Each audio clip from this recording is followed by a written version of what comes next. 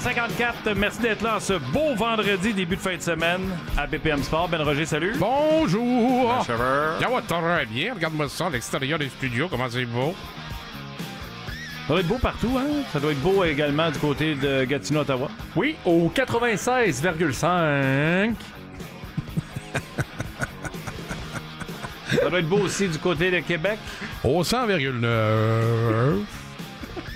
Parce que c'est beau, ça rue Laurier à Montréal, Ah. au 91.9. C'est beau, tu dis? Ouais. Tabarouette que c'est le fun un vendredi après-midi comme ça. C'est fantastique! Fantastique! Avez-vous aimé votre match hier? Ouais, correct. Ouais, correct aussi. là. Ah ouais, correct. Non, Non, mais c'est ça a bien. été une belle performance du Canadien Tout quand même. C'est bien battu. Ouais. Qu'est-ce qui se passe? la, chaise, la chaise, elle te fait des misères? C'est comme s'il y avait un trou dans le plancher, je suis pas capable de m'avancer. J'aime pas. Quelqu'un qui peut venir le pousser, Krim Puff. Aïe, aïe, Krim Puff. Une ancienne belle-mère disait ça. J'aime pas. Krim Puff. On savait pas réentendre ça un jour. C'est pour remplacer n'importe quel autre sac qui aurait commencé par C, celui de votre choix. OK. Il y en a deux en particulier qui sont Ouais. très On populaires. peut même les conjuguer. Ouais. On peut même les mettre un à la suite de l'autre. Ah ouais. On peut tous les enchaîner, là, les mots d'église, si tu veux. Ouais. Euh, alors, euh... Puff est arrivé. Krim euh, Puff! Crème Puff est arrivé à cause de ça, oui. Ouais. Euh, ben moi, j'ai, j'ai pas eu ça hier, le match Canadien. Le Canadien qui... euh, on a-tu une leçon de hockey dans le 5, 6, 7 minutes? On se regardait tous sa galerie presse, puis on a fait « Oh, pelaille, hein? Mhm. Euh, puis c'est comme passé un petit quelque chose. Le Canadien a quand même eu un soubresaut d'énergie. Et après ça, on a joué à « Je me tirerai pas dans le pied ». Parce Voilà. que Martin Saint-Louis n'aime pas ça quand on se tire dans le pied. Et les Bruins, c'est une bonne équipe pour ne pas se tirer dans le pied. Ça joue trois au-dessus euh, de la rondelle. Ça veut dire trois tout le temps du côté défensif de la rondelle. Donc, on est sûr de ne pas donner de surnombre de même. Euh, beaucoup, de, beaucoup de pression lorsqu'on sent qu'on n'est pas en total contrôle de la rondelle du côté euh, de la zone offensive pour les Bruins. Bref, le Canadien a survécu. Puis finalement, on donnait un match aux Bruins de Boston. C'était le fun. Je vais vous parler parce que je veux vous parler. Ça va être court, puis ça n'a pas rapport au sport. Le point de Martin. Ça va être court parce que je m'étendrai pas euh, là-dessus, mais euh, dans la vie, tu sais, les salutations, on les a pour l'instant euh, laissées tomber. On essaie des choses à la station pour améliorer notre sort, pour que les choses se passent un peu euh, différemment. Puis si on n'essaie pas des choses, ben on ne saura pas si on n'est pas capable de passer à autre chose. Puis je trouve ça triste qu'il n'y ait pas de salutation parce qu'aujourd'hui, ma salutation, Ben, tu l'aimerais. Je parlerais, je dirais aux gens qui passent des moments tough, des fois, je leur dirais Hey, merci d'être là, puis on est là pour vous autres. Parce qu'aujourd'hui, c'est une journée qui me fait chier, en esti. Puis il y a nulle part ailleurs que j'aimerais mieux être que ici avec mes chums Ben et FX et les auditeurs. Point. Si ce son te parle, c'est certainement un signe. L'appel de la liberté vient de sonner. Direction Léo Harley-Davidson Brossard. Pour une moto neuve ou d'occasion, notre équipe t'accompagnera dans la réalisation de ton rêve. Léo Harley-Davidson, votre destination moto depuis bientôt 50 ans. let's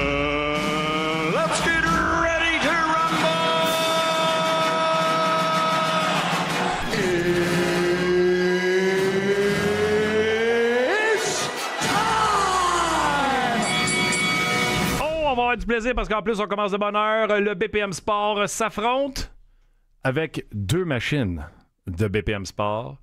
Le premier, vous l'entendez tous les jours, pas une fois, mais deux fois. Max Vanout, salut! Mon cher Martin, comment vas-tu? Je vais très bien, Max. Merci d'être là à BPM Sport. S'affronte et pour euh, t'affronter ce soir, cet après-midi, euh, la voix du Rocket de Laval, vous l'adorez tous, Anthony Marcotte. Salut tout le monde, comment ça va? Ça va, ça va très bien. Ça va très bien parce que, justement, comme je le disais tantôt, parce que j'étais avec vous autres, je vais juste vous dire une chose. Inquiétez-vous pas, là. Euh, ça arrive à tout le monde des mauvaises journées. Et celle-là, c'en est une mauvaise. Puis il n'y a pas de maladie en cours, il n'y a pas rien de dramatique. Mais c'est ça, aimer sa job, puis d'être avec du monde, puis ça inclut les auditeurs. Puis je pense que les gars, vous le vivez, que ce soit en faisant une description des matchs ou en étant à la radio avec euh, le, le public, les auditeurs de BPM. Il n'y a pas d'autre place qu'on voudrait aller quand ça va pas. Fait qu'aujourd'hui, moi, c'est ici que je veux être. Anthony, on va t'écouter ce soir dans le match du Rocket. Le yes, on est bien fébrile. Oh oui. sûr que ça va toujours mieux avec de la voix d'écrire des matchs. là, est revenu, est en pleine forme, puis on est bien craqué. Il reste 14 matchs à faire, puis on dirait que plus ça avance, plus ça devient encore plus serré au classement, puis palpitant pour une place en série. Ça va être le fun. Mais Anthony, faut que tu fasses comme Max Vanout. Euh, Quand la voix veut euh, sacrer son camp, faut que tu y ailles avec le néo-laryngobit. Ah, ça a été fait. Ça a été fait à plusieurs reprises, mais euh, quand tu décris des matchs, disons que tu pousses l'instrument fort. Et à un moment donné, il n'y a pas de miracle. C'est vrai Donc, que euh, pris ça. contexte, ça, pousse l'instrument fort, c'est un peu bizarre. Euh, Max, un conseil de voix avant qu'on commence? Écoute, moi, je suis tellement chanceux, ça fait bientôt 10 ans, j'ai pas encore perdu à la voix. Fait que touche du bois. Euh, puis, euh, si un jour j'ai besoin de quelque chose, je sais que je vais pouvoir appeler Anto. Je connais pas mal tous les remèdes maintenant. Ouais. Les gars, le BPM Sport, ça forme, vous connaissez la recette, les deux, vous l'avez faite. Le but, c'est qu'on cherche le trouble. On a passé notre journée à vous envoyer des questions pour être certain que vous n'entendez pas. Et un de vous deux a tenté de contourner les règlements en nous envoyant beaucoup de. Euh, Je ne sais pas. Je suis Ben Alors, il, a fallu, il a fallu le rechallenger parce qu'on cherche vraiment à ce que vous soyez pas en accord. La première, euh, vous n'avez pas accepté d'embarquer dans notre jeu, mais on va la faire pareil. Parce que je trouvais le- la question le fun. Gonzo et Georges ont jasé tout l'après-midi. Si tu avais un défenseur, un jeune défenseur prometteur du Canadien, à transiger pour un top 6, est-ce que ce serait Mayou, Lane Hudson, Goulet et Rainbacker? Les deux, vous avez refusé ardemment de vous compromettre. Fait que je- normalement, j'aurais pas pris la question, mais pour le bon plaisir, parce que je trouvais que c'était une question de fun. Pourquoi vous voulez pas vous compromettre? Max? Ah. Je, je, je me compromets pas, Martin, parce que tantôt, j'ai terminé mon émission. J'ai marché vers chez moi, parce que comme vous le savez, j'avais pas loin. Belle journée de printemps, ensoleillée. Ça allait bien! Ça allait assez bien! Puis là, j'arrive chez moi, puis je me fais un vieux sandwich. Jambon, pastrami, fromage suisse, moutarde, dans un excellent pain baguette. Puis j'écoutais Georges puis Gonzo, puis je t'avoue, je suis sacré. J'étais sur mon YouTube, on est en 2024, j'ouvre YouTube, j'écoute les gars en format vidéo, puis je suis sacré. Jusqu'à ce qu'arrive arrive Tony Marinaro qui dit Ben les gars, j'en tra- j'en- transige aucun, j'en sacrifie pas, puis là j'ai dit Yes! Bien dit, Tony, je suis d'accord avec lui.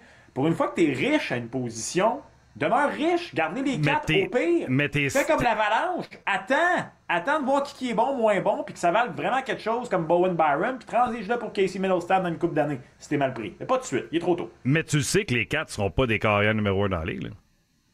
Non, je le sais. OK. Mais donne-toi quand même le luxe d'attendre. OK. En ce moment, moi, une, une des choses qui me bug, c'est Justin Barron. Si Justin Barron avait été très bon cette année, je t'aurais dit sacrifie Mayu. Mais il est pas assez bon à mon goût. Je pense que Mayu est meilleur que Barron. Que- Ben oui, mais c'est ça, là, on transigera pas. Euh, Anto, euh, Marcotte, le, le pourri, a essayé de nous envoyer ça d'impact. Il a dit euh, Vous voulez pas mettre Barron là-dedans J'ai dit non, Anthony, on veut pas avoir un bottom six, on va avoir un top six, le gros. Ben, et c'est sûr que quand des gars qui semblent aussi prometteurs ne sont pas encore arrivés, on a toujours tendance à surévaluer les espoirs parce qu'on pense qu'ils ont le potentiel de devenir des joueurs étoiles dans la Ligue nationale. Puis tant qu'ils ne sont pas rendus, ben, c'est dur de le prévoir. C'est pour ça qu'un repêchage puis le développement, ben, il va y avoir des travers, puis ce ne sera pas toujours parfait dans le développement. Puis des fois, on va être surpris, puis des fois, on va être déçu. Dans les Ouais, mais le monde, cas, vous é- le monde qui écoute BPM aujourd'hui vous écoute pas pour peut-être je veux attendre. Il vous écoute pour avoir votre opinion, les gars. Vous avez un gun sur la tête, vous devez en échanger un. Il faut pas que ça ait l'air d'une transaction Sergachev-Drouin où ce qu'on se fait ramasser. C'est lequel Ouais. des quatre que vous envoyez pour un top 6? Euh, Hudson. Bon, merci, Anto. Je t'aime. Max Vanout. Aïe, aïe, aïe, aïe, aïe, aïe, aïe. Le gun, ça tempe? Le gun, ça attend. Ça dépend pour qui, là. Un top 6. Reinbacker. Ce sera pas lui, mais ce serait lui. Oh! Ils donneront jamais Reinbacker. Jamais, je le sais. jamais, Mais- jamais. mais la question- ça. la question, Ils vont se moi. protéger tant aussi longtemps qu'ils vont pouvoir se protéger avec cette, avec cette sélection-là, qui pour moi est une erreur depuis le début. On aurait dû prendre un attaquant de premier plan. C'est tout. Fait qu'ils ne l'échangeront pas. Oubliez ça. Il y a trois options, il n'y en a pas quatre, il y en a trois. Hey. Martin, si tu permets en une seconde, là, si vous écoutez pas en ce moment en format YouTube, vous venez d'en rater Anthony Marcotte qui donne un méchant show. mais j'aime ça. Euh, Moi, j'avais Mayou. Euh, si, mettons, j'ai un fusil sur la tête. Mais j'aime ça, on est tous d'accord, Goulet part pas. Euh, Non. C'est une évidence. Tu as déjà un pilier. Ouais, Un pilier, tu touches pas à ça. OK, messieurs, euh, on y va. On rentre dans le, dans le, dans le vif du sujet. BPM Sport s'affronte. 514-790-0919. 514-790-0919. Vous devez voter pour Anto, pour Anthony Marcotte. Et vous, vous devez voter Max pour Max Vanout. La première question, messieurs. De la façon que le Canadien joue actuellement, avec euh, toutes les transactions habituelles de Kent Hughes, l'été, vous savez, euh, un choix, quelque chose pour un top 6. Euh, le jeune qui s'en vient chez le Canadien. Et si le Canadien devait gagner la loterie et repêcher Celebrini, le Canadien serait du portrait des séries l'année prochaine. Absolument pas pantoute, Max. Pas pantoute. Trop tôt. Il va être de la course aux séries, mais il ne sera pas des séries. Il y a encore trop d'équipes à déloger. Il y a encore trop de bonnes équipes. Le Canadien, je pense, l'an prochain, encore une fois, va être dans la meilleure division de la Ligue nationale de hockey. Les Sabres sont en train de faire un push pour les séries. Les Red Wings sont en train de s'embourber dans les fleurs du tapis, mais ça demeure une bonne formation. Les sénateurs vont finir par arriver. Il est trop tôt, personnellement, pour que je dise que n'importe quelle des formations de Lightning, Floride, Toronto, Boston, que le Canadien, même avec Celebrini, meilleur que ces formations-là. Donc, une course aux séries, oui. Être du portrait, pas pantoute. Ah ben, euh, moi, je- attends, attends moi- Anto. J'aurais donné le numéro 514-790-0919 pour euh, Max Vanout, si vous avez aimé ce que vous avez entendu, pour voter pour Anthony. 514-790-0919 également, avec la façon que le Canadien joue actuellement, de la façon que Kent Hughes travaille l'été. Euh, si le Canadien devait gagner la loterie et repêcher Celebrini tout premier, le Canadien serait des port- du portrait des séries éliminatoires dès l'an prochain. Absolument pas pantoute, tantôt. Ben, moi, je pense qu'absolument, le Canadien va être dans le portrait euh, si tout ça s'organise. Euh, personnellement, le Canadien, avec Kirby Doc à 100% toute l'année, avec Alex Newhook à 100% toute l'année, rajoute un autre élément offensif et en plus, Celebrini, ben, à un moment donné, quand je compare les équipes qui se battent actuellement pour les séries, New York, les Islanders, les Red Wings, les Capitals, je mets les Flyers, les Sabres, Canadien, es-tu vraiment moins fort que ces équipes-là? Moi, je pense pas. Alors, moi, je pense que le Canadien peut faire partie des séries l'an prochain si tout ça euh, tombe en place. Écoutez, je vous donne encore trois secondes pour voter. Euh, 514-790-0919. Mon opinion ne vaut pas grand-chose, mais euh, j'ai discuté ce matin avec FX et j'ai dit si le Canadien devait repêcher Silly ça met le Canadien, si on joue au certain échelle, sur une échelle. Ce gars-là, imagine, serait sur une 2 ou une 3 avec Canadien à sa première année. Elle amènerait un deuxième élément offensif sur un deuxième avantage numérique avec New Hook, parce que Dak reprendrait sa place, je présume, le premier avantage numérique. On voit ce que les gardiens sont capables de faire. On voit la défensive du Canadien qui commence à regorger de talent. Euh, je pense vraiment que ça accélère la, reconstruction, mais mon opinion ne vaut pas Saint-Saëns. Euh, FX, au vote sur la messagerie texte 514-790-0919, qui remporte la première manche? Avantage en taux sur euh, la messagerie texte pour euh, la première question. Également, un, un petit complément d'information, messieurs. On suit euh, le match présentement entre les Lions et Holton en, en Suisse pour savoir qui, euh, si David Rembacher sera de retour ici en Amérique du Nord très prochainement. Et pour ça, il faut que les Lions l'emportent et c'est 2-0 Lions en début de match. Juste un petit complément d'information à, à l'émission parce qu'on pourrait le voir débarquer. Les Lions mènent 2-0, puis il faut que 2-0. les Lions gagnent. Il faut que les Lions gagnent On veut voir Mbaker, très prochainement. Ouais. malgré tout ce Le que vous avez dit. Oui, on veut, malgré tout ce que vous avez dit tantôt. hey les gars, euh, un sujet que je pense que vous n'êtes pas d'accord. Disputer devant des milliers et des milliers de personnes. On sait que Anthony Marcotte fait la description de la boxe sur nos ondes. Disputer devant des milliers de personnes au AT&T Stadium. Jake Paul contre Mike Tyson est un combat que je ne voudrais pas manquer. Absolument pas pantoute, Anto. C'est sûr que je manquerai pas ça. C'est sûr que non. Je vais être là, c'est sûr. C'est sûr que c'est un freak show. On est tous d'accord avec ça. Mais je vous fais un comparant. Quand les gants tombent d'un match de hockey, c'est drôle, hein, mais j'en vois pas bien ben qui se lèvent, aller, aller, aller pisser ou s'acheter une bière. C'est le même principe pour Jay Paul contre Mike Tyson. On va tous vouloir savoir ce qui va se passer. Que ce soit bon, pas bon, Tyson va-tu se faire éteindre ou enfin la grand gueule à Jake Paul va-tu se faire knocker? C'est tout ça qu'on va vouloir savoir. On manquera pas ça. Puis ceux qui disent Ah non, moi ça m'intéresse pas, je veux rien savoir, ils vont trouver le moyen de vouloir savoir ce qui va se passer. 514-790-0919. Il y en a beaucoup qui adoptent le mot Tony au lieu de Anto. Tony et Anto, c'est bon, la machine de calcul. Et si vous voulez voter pour Max Vanout, Max, 514-790-0919. Euh, Max, disputé devant des milliers de personnes, on va remplir le AT&T Stadium. Jake Paul contre Mike Tyson est un combat que je ne voudrais pas manquer, absolument pas partout. Euh, Martin, tu me permets de te poser une question à Ben Roger? Oui, Ben est là. Euh, ben, question pour toi. Oui. Euh, le 20 juillet, la journée où vont s'affronter Mike Tyson et, euh, et Jake Paul, c'est un samedi. S'il annonce beau, on va jouer au golf? Absolument. Pas parfait. Absolument. puis on soupe ensemble, puis on étire la veillée, puis euh, on regarde pas la TV, ça, c'est sûr. Sais-tu qu'est-ce Parce, qu'on va parce que faire? le combat va envoyer à minuit, tu verras pas la balle, ben, ben, Max. C'est- Hey, euh, au euh, golf UFO à Laval, j'ai découvert ça cet hiver. Ils ont du golf de nuit. Je te garantis, je m'en vais essayer ça cet été. Et on va y aller le 20 juillet. Sais-tu qu'est-ce qu'on va faire, euh, mon, mon Ben? Bienvenue en aux ville. alentours de, Ouais. aux alentours d'une heure du matin, là, on va ouvrir notre cellulaire puis on va regarder les 30 secondes que le combat auront duré sur Facebook, toi puis moi. J'embarque avec toi. Ah. Yes, sir, man. Bon, euh, là, euh, Max Vanot, il était temps que t'arrives en ville. J'avais 18 ans. Quand j'avais fini d'un bar, j'allais jouer un œuf au UFO. Là. Ah, mais moi, Martin, je suis né à Sept-Îles, buddy. Je te garantis que le golf UFO, j'ai découvert ça cet hiver. Juste te rappeler que j'ai commencé ma phrase en disant bienvenue en ville. C'est ce que j'ai dit. Euh, C'est vrai, OK. 514-790-0919. Il vous reste une dizaine de secondes pour voter, soit pour Tony, Anto ou Max Vanout. Visiblement, Max Vanout ne regardera pas 5 minutes, mais je suis convaincu, le connaissant, qu'il va aller revoir les séquences sur YouTube. Bon, c'est ça. Ah, je disais. ah, mon petit torpinouche. Il dit je l'écouterai pas en direct, va jouer au UFO, mais euh, plus tard sur le YouTube channel. Il va le regarder. Ou vous pouvez voter pour Tony Anthony sur euh, également la messagerie texte FX qui a gagné. Anthony pour euh, la question numéro 2. Oh! Chanceux, Max, il en reste deux. Tu prêt? Les gens sont curieux. Ah, Ouais, je le sais. Euh, les gars, la Ligue nationale de hockey devrait changer son format des séries éliminatoires. J'ai réalisé hier que j'étais un des seuls qui l'aimait. Absolument pas pantoute, euh, Max? Ben, moi, Martin, jusqu'à. Il y a deux semaines, j'étais de ton bord. J'ai toujours. J'ai jamais rien eu contre le nouveau format. Mon seul problème avec le format a toujours été que moi, si tu fais des séries à l'intérieur de la division, je veux plus de matchs intra-division dans l'année. Rends ça réellement une guerre intra-division. C'est un peu comme ça à balle. Euh, mais là, cette année, euh, j'ai trop de misère avec l'idée peut-être de l'avalanche du Colorado puis des Stars qui s'affronteront au premier tour. Pour moi, c'est encore pire que Lightning contre Maple Leafs des dernières années. Euh, en ce moment, ces deux équipes-là, dans l'ancien format, s'il y avait à s'affronter, ce serait probablement en finale de conférence. C'est là, faut que ça arrive.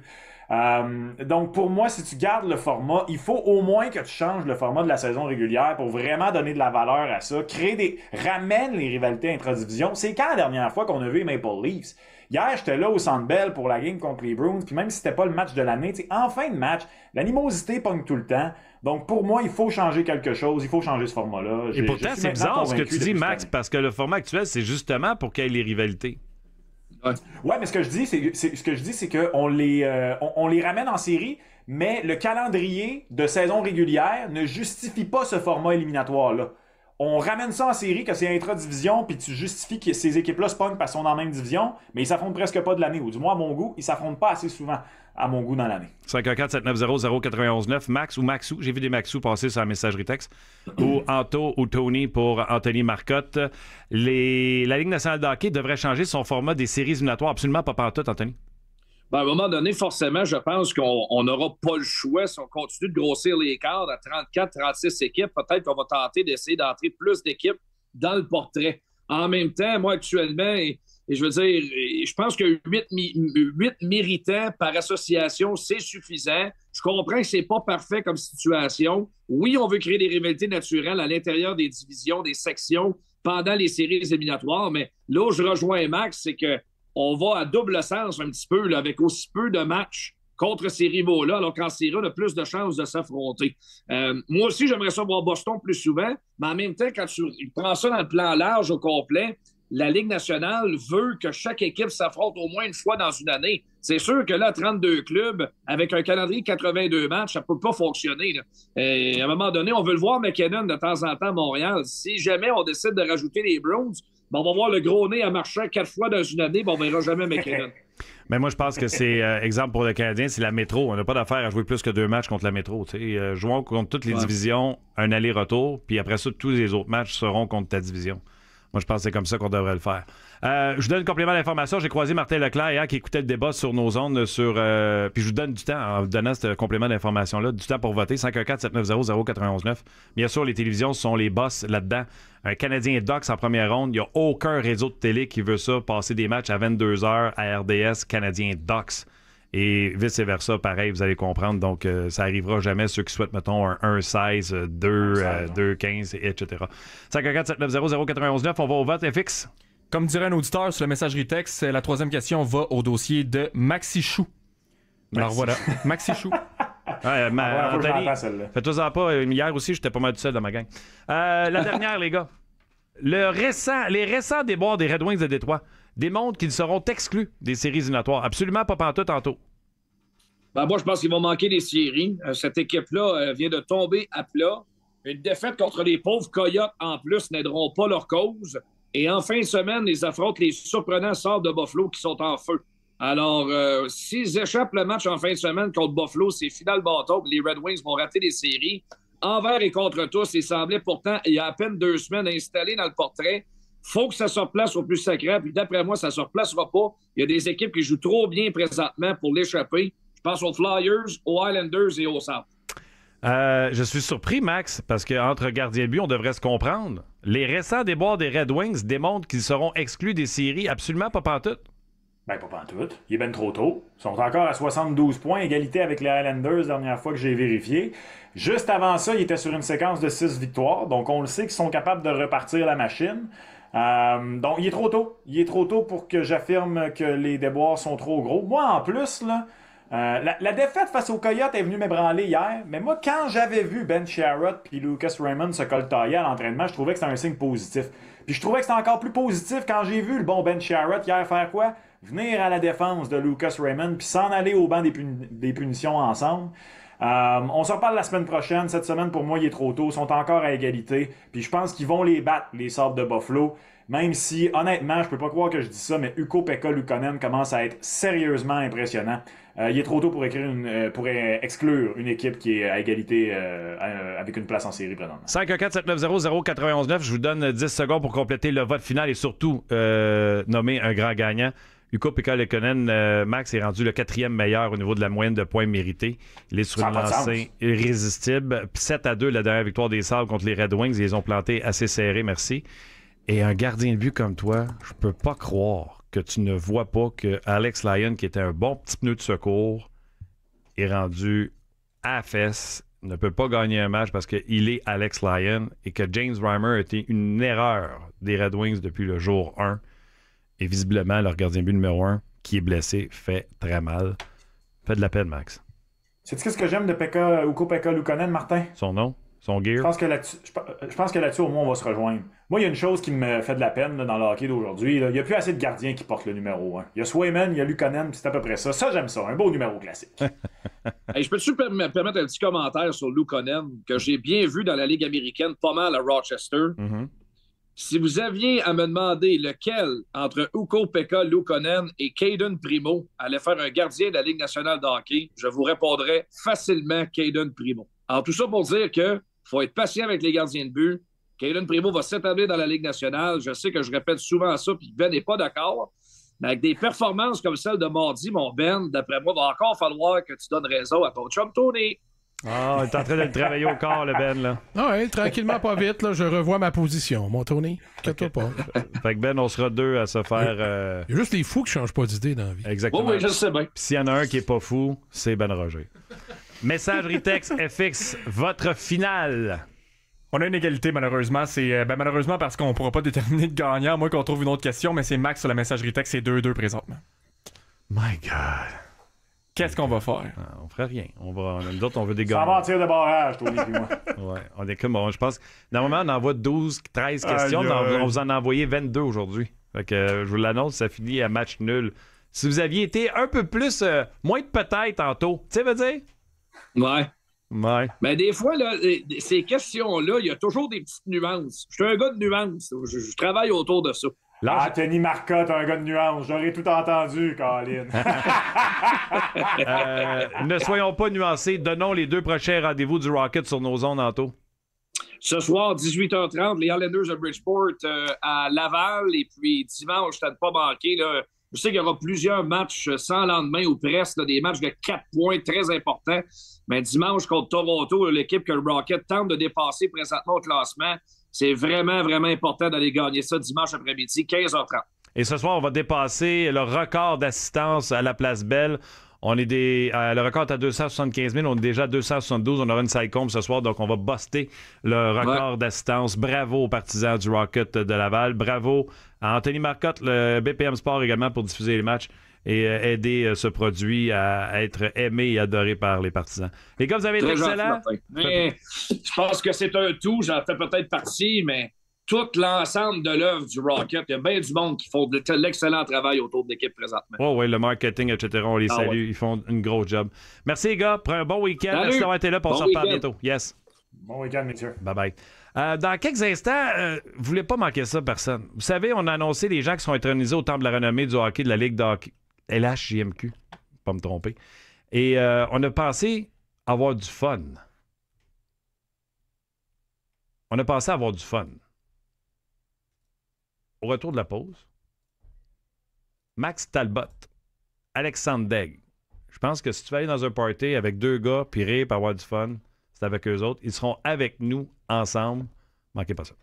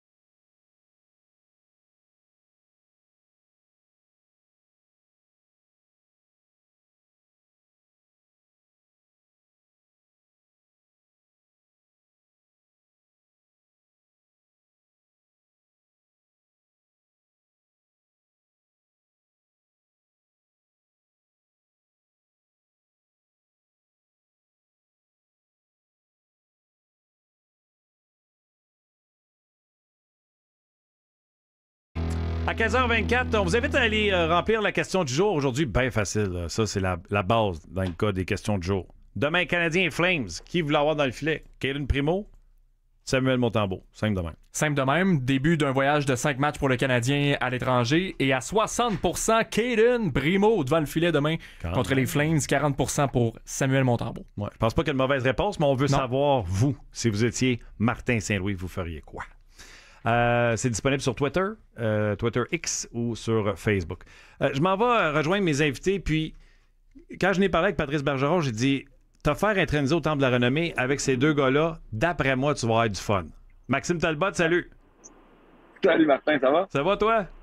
Yes, sir, yes, sir. Et euh, pour t'accompagner, quand je dis avoir du fun, on a un autre, ça, qui a l'air pas laisser sa place. Un drôle qui rit pas mal tout le temps puis qui laisse sa porte ouverte. Alexandre Degg, salut.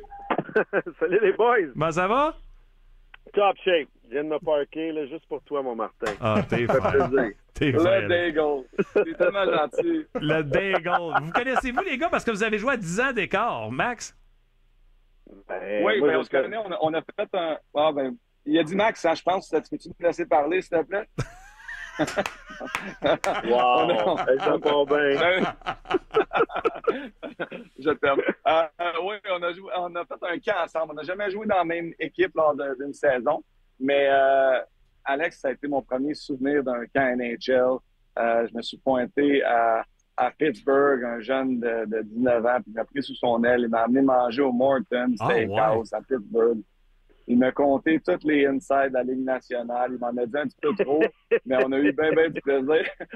Puis, euh, on, on, on se croisait souvent les étés, des choses comme ça. Donc, oui, on a une belle amitié. Ah, j'écoute, je savais même pas. C'était un super hasard. Ben, Alex. je vais te dire, ben, pour moi, pour en rajouter là-dessus, là, euh, je l'ai vu tout de suite qu'elle a scoré deux buts contre les Red Wings à Game 7. Fait que je l'ai vu dans ses yeux puis dans son steak. Je l'ai laissé aller. J'ai décidé de changer d'équipe pour pas ruiner sa carrière. Merci. Mais c'est quoi que t'as pu y compter à son premier camp d'entraînement euh, quand tu l'as amené manger un steak? Pardon? C'est quoi, Alex, y compter quand tu l'as amené manger un steak à son premier camp d'entraînement? Ah non, non, mais euh, dans ces années-là, je pense que tu sais, quand tu as des jeunes qui arrivent puis leur premier camp d'entraînement, c'est vraiment un, c'est un événement quand même. là. Euh, puis tu sais, on se rappelle, là, Mario Lemieux était là aussi, là. Tu sais, c'est pas euh, moi même moi, je te dis, c'était vraiment impressionnant. C'était mon idole de jeunesse. C'est sûr que moi, euh, c'était Mario. Je sais pas pour, pour, pour Max c'était qui, mais on était tous un peu un A devant lui.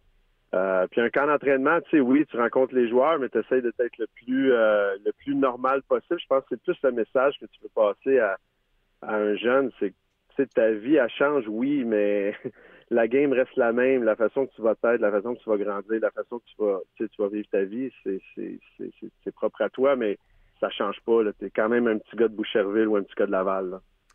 Max, ta première réaction quand tu as su que la HJMQ allait t'introniser au Temple de la Renommée? Ah, ben, j'ai été premièrement surpris. Je sais pas. Je m'en attendais vraiment pas. Euh, mais je regarde ma- M. Chiquini, je sais pas si vous l'avez vu sur RDS, là, la manière qu'ils m'ont comme surpris aussi un petit peu. Là, ils m'ont fait croire qu'ils voulaient me poser des questions. Puis finalement, ils, ils m'annoncent ça euh, euh, comme ça. Donc, vraiment honoré. Je sais que les grands joueurs qui ont joué à la GMQ, c'est assez spécial de, euh, de se faire introniser, euh, introniser là. Puis, euh, je suis extrêmement content aussi parce que je vais être là avec euh, trois personnes que je respecte beaucoup là, en même temps, là, que ce soit euh, le Bagel, Tom Bergeron ou M. Courteau que, que, que, que j'admire beaucoup. Donc, malheureusement, Réginald aussi, c'est très fier de rencontrer sa famille. Mais c'est une belle cohorte, une fierté, ça a été ma, mes émotions. Alex, ta première réaction quand on t'a informé qu'on allait t'introniser au Temple de la Renommée de la LGMQ? Ben, j'étais un peu moins surpris que Max. Écoute, je vais te dire que, tu sais, moi, mon bit dans la vie, là, j'ai dit, quand M. Courteau va prendre sa retraite, je vais y aller dans of Fame. Fait que là, j'avais, j'avais, ça fait 30 ans, j'étais patient. Non, écoute, écoute, moi, ça a été, euh, écoute, c'est, comme Max dit, c'est pas des choses que tu te lèves le matin puis tu dis, Gars, c'est ça qui va m'arriver, puis, euh, tu sais, je compte les jours que ça m'arrive. Euh, mais quand l'appel vient, je vais te dire, tu es vraiment content. Puis ça, tu sais, tu reviens dans tes souvenirs, tu reviens du temps que tu étais à Victo. Moi, c'était à Victo, puis championnat du monde. Là, tu revis tout ça, puis, euh, puis après ça, tu appelles tes parents. Moi, c'est ma mère, mon père est décédé, mais là, c'est comme elle, elle- tu sais, les gens alentour de toi, là, on dirait que c'est des choses qui attendent plus que toi, en fin de compte. Là, quand avec là, tu vois l'émotion de tout le monde, là, c'est vraiment, vraiment le fun. 110 et 137 points pour euh, Alexandre Degg dans ses deux premières saisons et euh, lors de la saison 94-95 avait été faire un autre petit tour avec les Tigres. 34 points en 18 matchs.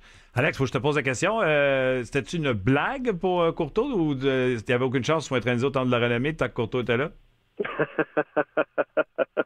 Je ne sais pas. Écoute, de- Stéphane Leroux m'a dit que depuis qu'il est sur le board, ça fait un an, c'était son premier choix avec Egan. Je sais pas quoi dire là-dessus. Mais euh, non, mais écoute, des fois aussi, moi, je suis parti là, du Québec quand même jeune. Puis après ça, euh, tu sais, j'étais à Ottawa, oui, mais pendant seulement quatre ans, quatre ans et demi ensuite.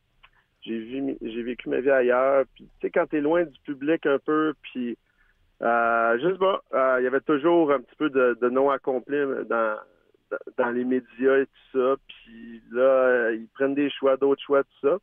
Euh, il n'y a pas de right or wrong, mais moi, je trouve que j'ai fait un documentaire cette année qui a été vraiment très bon pour moi mentalement, puis aussi regarder ma carrière as a whole, comment ça a été, puis c'était pas si pire que ça. Fait que j'étais vraiment en paix avec tout ça, puis le fait qu'il me le demande cette année, je pense que le timing ne pourrait pas être mieux pour moi. Tant mieux. Puis euh, on t'avait accueilli pour euh, le lancement de ce documentaire-là. On ne s'est pas reparlé depuis. Je l'ai regardé. J'ai euh, j'ai adoré. Pourtant, c'est une histoire que je connaissais. Oui. Mais j'ai, je sais pas, comme tu l'as dit, j'aimais ça la, la- la revisiter. Max, Patrice Bergeron va être là. Dirais-tu que ton premier souper avec Alexandre Degg à Pittsburgh était pas pareil comme ton premier souper avec Bergeron? Oui. Oui, mais autant, quoi, autant de, de laughs, autant de rire, parce que Pat, écoute, ça a été un des premiers qui m'a texté là, lorsque euh, a su que j'étais euh, chronisé en même temps que lui. Euh, c'est un gars, on a tellement de respect pour l'autre, là. euh, et surtout, moi, pour, lui, tout ce qu'il a accompli, c'est. Ça a été un des grands, grands leaders avec lesquels j'ai joué. Je suis tellement, fier de sa carrière, de, de, de voir qu'on va être là ensemble. C'est vraiment spécial. Mais euh, non, non, Pat, euh, euh, il y a, il y a de l'humour dans le nez aussi. Peut-être pas autant que t'as des goals, mais il est capable de- d'avoir du fun. Vous allez avoir du fun, c'est sûr, à, à cette journée du mois de septembre. Alex, c'est quoi ton plus beau souvenir de ton passage dans Q?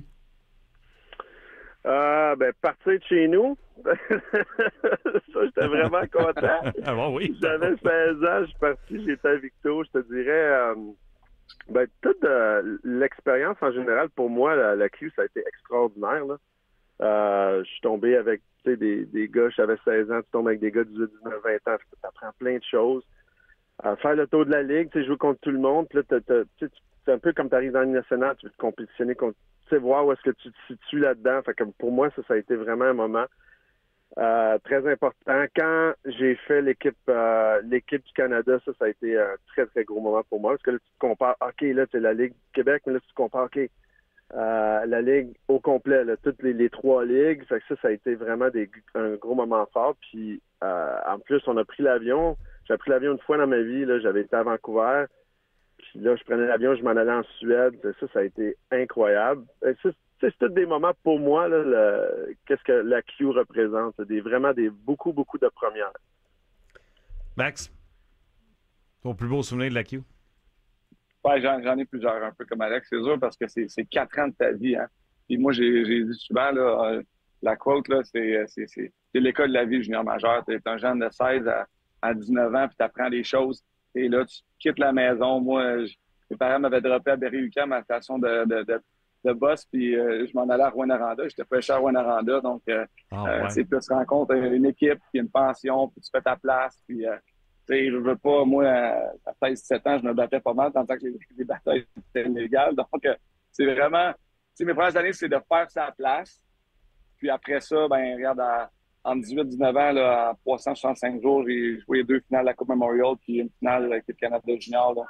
Euh, donc, euh, cette année-là a été quand même spéciale, spéciale pour moi. Puis c'est des coéquipiers que tu rencontres. euh, euh, la journée, c'est une, journée triste d'échange de Bob Bissonnette parce que mon capitaine avait, avait quitté, s'était fait échanger à batteuse. Euh, c'est un, un souvenir, c'est pas un souvenir positif parce que je me rappelle toute l'équipe, on avait sorti avec lui, puis le lendemain, avant la pratique, on était tous sur le banc, on pleurait. On avait perdu notre capitaine. Donc, c'est des moments comme ça, vraiment, on appelle ça des core memories. Là.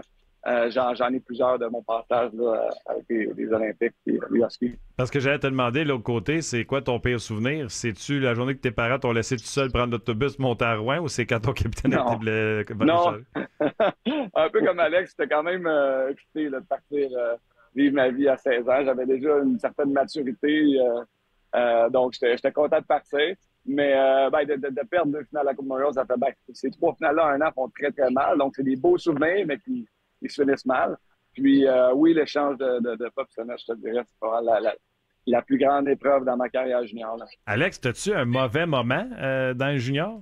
Non, moi, j'ai vraiment pas de mauvais moment dans le junior. Je te dirais que on n'avait pas des équipes comme Max a eu, là, avec les- toujours compétitionner année après année. Nous, moi, je suis arrivé, on était la pire équipe de la Ligue. Puis ma deuxième saison, on était très compétitif, mais tu sais, ça, te prend, il y a des cycles aussi dans le junior, là, ça te prend 3-4 ans vraiment avoir une équipe que tu peux espérer. Fait qu'à ce niveau-là, non, moi, euh, ça a juste été du positif à Q. euh, de A à Z. Puis quand j'entends, moi, qu'il y a encore plus d'accès aux études pour les jeunes là-dedans, moi, je trouve ça vraiment hot. Puis on va être encore plus compétitif qu'avec la NCAA. Fait que euh, je trouve juste que c'est du, c'est du bon. Moi, j'ai une question pour vous autres, les gars. On, tu sais, la Ligue d'hockey junior majeure du Québec, c'est sur pied, je pense, pour développer des joueurs de hockey puis développer des humains. La Ligue nationale de hockey a toujours été considérée, puis Max aussi, on a travaillé sur le même show avec Guy, euh, Boucher. La Ligue nationale de hockey, c'est pas une ligue de développement. Mais là, euh, on entend de plus en plus dire que c'est une ligue qu'on développe. Martin Saint-Louis en parle, c'est pas un produit fini, etc. La ligue est de plus en plus jeune. Est-ce que vos carrières auraient été différentes si on avait permis la Ligue nationale de d'être une ligue de développement comme on le permet aujourd'hui? On va commencer avec Max, puis après ça, je vais entendre Alex. Ben, aucunement pour moi. Moi, euh, mon parcours, là, euh, je suis rentré dans la Ligue américaine, c'était le lockout, ma première année professionnelle, j'avais 20 ans, c'était le lockout, donc la Ligue américaine était très forte. Donc, j'ai eu la chance de me développer là avec une belle compétition. Euh, puis, ma deuxième année, j'ai fait la Ligue nationale, puis je me suis développé en masse. Là, Michel Terrien, je vais te le dire, il m'a appris euh, rapidement à devenir un professionnel. Puis, euh, il me disait quoi pas faire, puis quoi faire. Puis, moi, je me suis développé parce qu'encore, comme, comme Alex parlait des cycles dans le junior, moi, je suis arrivé dans le cycle parce que ça existe aussi dans le national. là. Mhm. On le vit avec le Canadien, c'est un genre de reconstruction. Ben, moi, j'étais avec les Pingouins au moment où que on avait une équipe jeune, puis on était dans un, un cycle de, de, de- de développement positif. Puis, euh, trois ans après, je gagne une Coupe Stanley. Donc, euh, moi, moi j'ai été développé dans la Ligue nationale. Alex, est-ce que ça aurait changé ta carrière si le développement était- avait été permis dans ton temps dans la Ligue nationale? Euh, ben moi, j'étais dans une équipe qu'on avait, euh, je pense que c'était 11 ou 13 recrues, là. Fait que c'était pas mal de développement. Je vais te confirmer ça, là. Euh, je te dirais que moi, euh, tu sais, c'est, c'est tout des... Le timing est très, très important dans une carrière, là. Euh, comme Max a dit, tu tombes avec une équipe jeune mais talentueuse que, tu sais, puis tu peux rester là un bout de temps, mais tu as une grosse chance que ça marche, là. Euh, puis moi, ben, je suis arrivé à une équipe complètement différente de ça. Puis après ça, ben, tu fais des choix. Moi, comme de documentaire, moi, je pense que euh, j'ai arrêté deux ans. Il y avait des raisons pour ça. Puis, tu as besoin de support. Moi, je trouve que la seule, la seule différence que ça aurait fait aujourd'hui pour moi, c'est que maintenant, il y a beaucoup de support aux, jou- aux joueurs à l'extérieur de la glace. Ouais. Ça, je pense que c'est un atout majeur. Puis deuxièmement, pour mon style de jeu personnel, le fait de ne plus avoir la ligne rouge, le fait de, que ce soit une ligue Ah, de, c'est vrai. de patineurs, ça m'aurait beaucoup, beaucoup avantagé, mais euh, tu peux pas comparer non plus les Europe la façon que c'était fait. Tu sais, j'ai grandi d'une certaine manière, fait que tu peux pas me, me- me mettre dans une autre façon de jouer. Donc, tu sais, euh, je veux pas critiquer un ou l'autre, mais si tu me demandes ça, ça serait peut-être les deux points là, que je verrais différents. C'est vrai, euh, ça vous vieillit, les gars. Il y a du monde qui n'ont jamais connu ça, le hockey avec la ligne rouge. Fait que. ça fait Ouais, Il y a d'autres monde qui n'ont jamais appris à accrocher dans une pratique. Moi, j'ai ça. Je suis- je suis un des meilleurs là-dedans. accrocher, on montrait ça dans les pratiques. Euh, Euh, les gars, félicitations. Non seulement vous allez être intronisés au Temple de la Renommée, mais vous allez être intronisés au Temple de la Renommée peut-être dans une des, euh, des vagues les plus euh, relevées avec Patrice Bergeron, Max Talbot, Alex Degg, euh, M. Courteau qui a été euh, euh, commissaire de cette ligue-là depuis toujours. Euh, félicitations, messieurs, c'est mérité. Puis euh, vous allez avoir du fun. Max, tu voulais rajouter quelque chose? Ouais, Martin, si je veux prendre deux minutes, l'opportunité, je suis euh, juste peut-être euh, s'il y a des fans de hockey, des fans de sport, puis euh, de la, santé des tiens à cœur, j'étais à l'Expo Santé au Palais des Congrès tout le week-end. Fait que euh, je suis là présentement. Je suis avec mon infusion énergisante, là, Mana. Euh, donc, je vais être assis à un petit comptoir. C'est des gens qui vont venir me serrer la pince. Ça me fait plaisir euh, de rencontrer les amateurs de hockey. Donc, aujourd'hui jusqu'à 6 heures. Puis demain, euh, demain peut-être de 11 à 3, là, je vais être là. Donc, euh, on fait les gens venir me voir. Bon, ben faisons-le. Écoute, je me demandais si tu avais décidé de teindre tes vides comme le Palais des Congrès, mais tu me confirmes que tu es au Palais des Congrès. Euh, Moi, j'aimerais faire une petite euh, parenthèse un petit peu sur Réginal, juste pour que les le monde se mette en perspective. C'est que euh, Réginal, ça a été un précurseur dans le Ninja 3. Moi, ça a été une influence pour moi. Il était comme deux ans avant, deux ou trois ans avant moi. Donc, je l'ai vu jouer. Il a dominé dans le Ninja 3. Puis quand il est arrivé dans, dans le junior, regardez ses stats, là, il y a quasiment un but par match. Donc, c'était vraiment un joueur exceptionnel puis euh, next level. Ben- que, euh, un petit shout-out to that. Mais moi, je pense que c'est un beau, euh, c'est un beau flash. Tu sais, euh, ça va être posthume malheureusement, mais c'est un précurseur. Tu sais, Euh, Georges, euh, il y a quelqu'un qui a passé dans les chemins avant lui. Puis, euh, parce que je parle de Georges parce qu'il est ici à BPM Sport, là, mais c'est un précurseur. Euh, c'est un gars qui les a. euh, J'ai regardé le documentaire d'ailleurs, je n'ai parlé en nom de Grand Fury il n'y a pas si longtemps. C'est des gens qui ont tra- tracé le chemin pour euh, les autres. Euh, tu fais très bien, Alexandre, de, de le mentionner. Puis je vais revenir sur Max. Tu es au Palais des Congrès. C'est dans le cadre de quoi et on peut aller te voir de quelle heure à quelle heure aujourd'hui et demain? Aujourd'hui jusqu'à 6 heures. Demain de euh, euh, 11 à 3. Euh, je suis là avec ma, mon infusion énergisante Mana.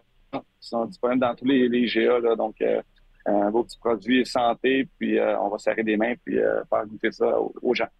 Les gars, merci d'avoir pris le temps à BPM. Je suis convaincu. Moi, je, je regrette de ne pas avoir joué dans Q juste pour pas être intronisé en même temps que vous autres pour avoir du fun.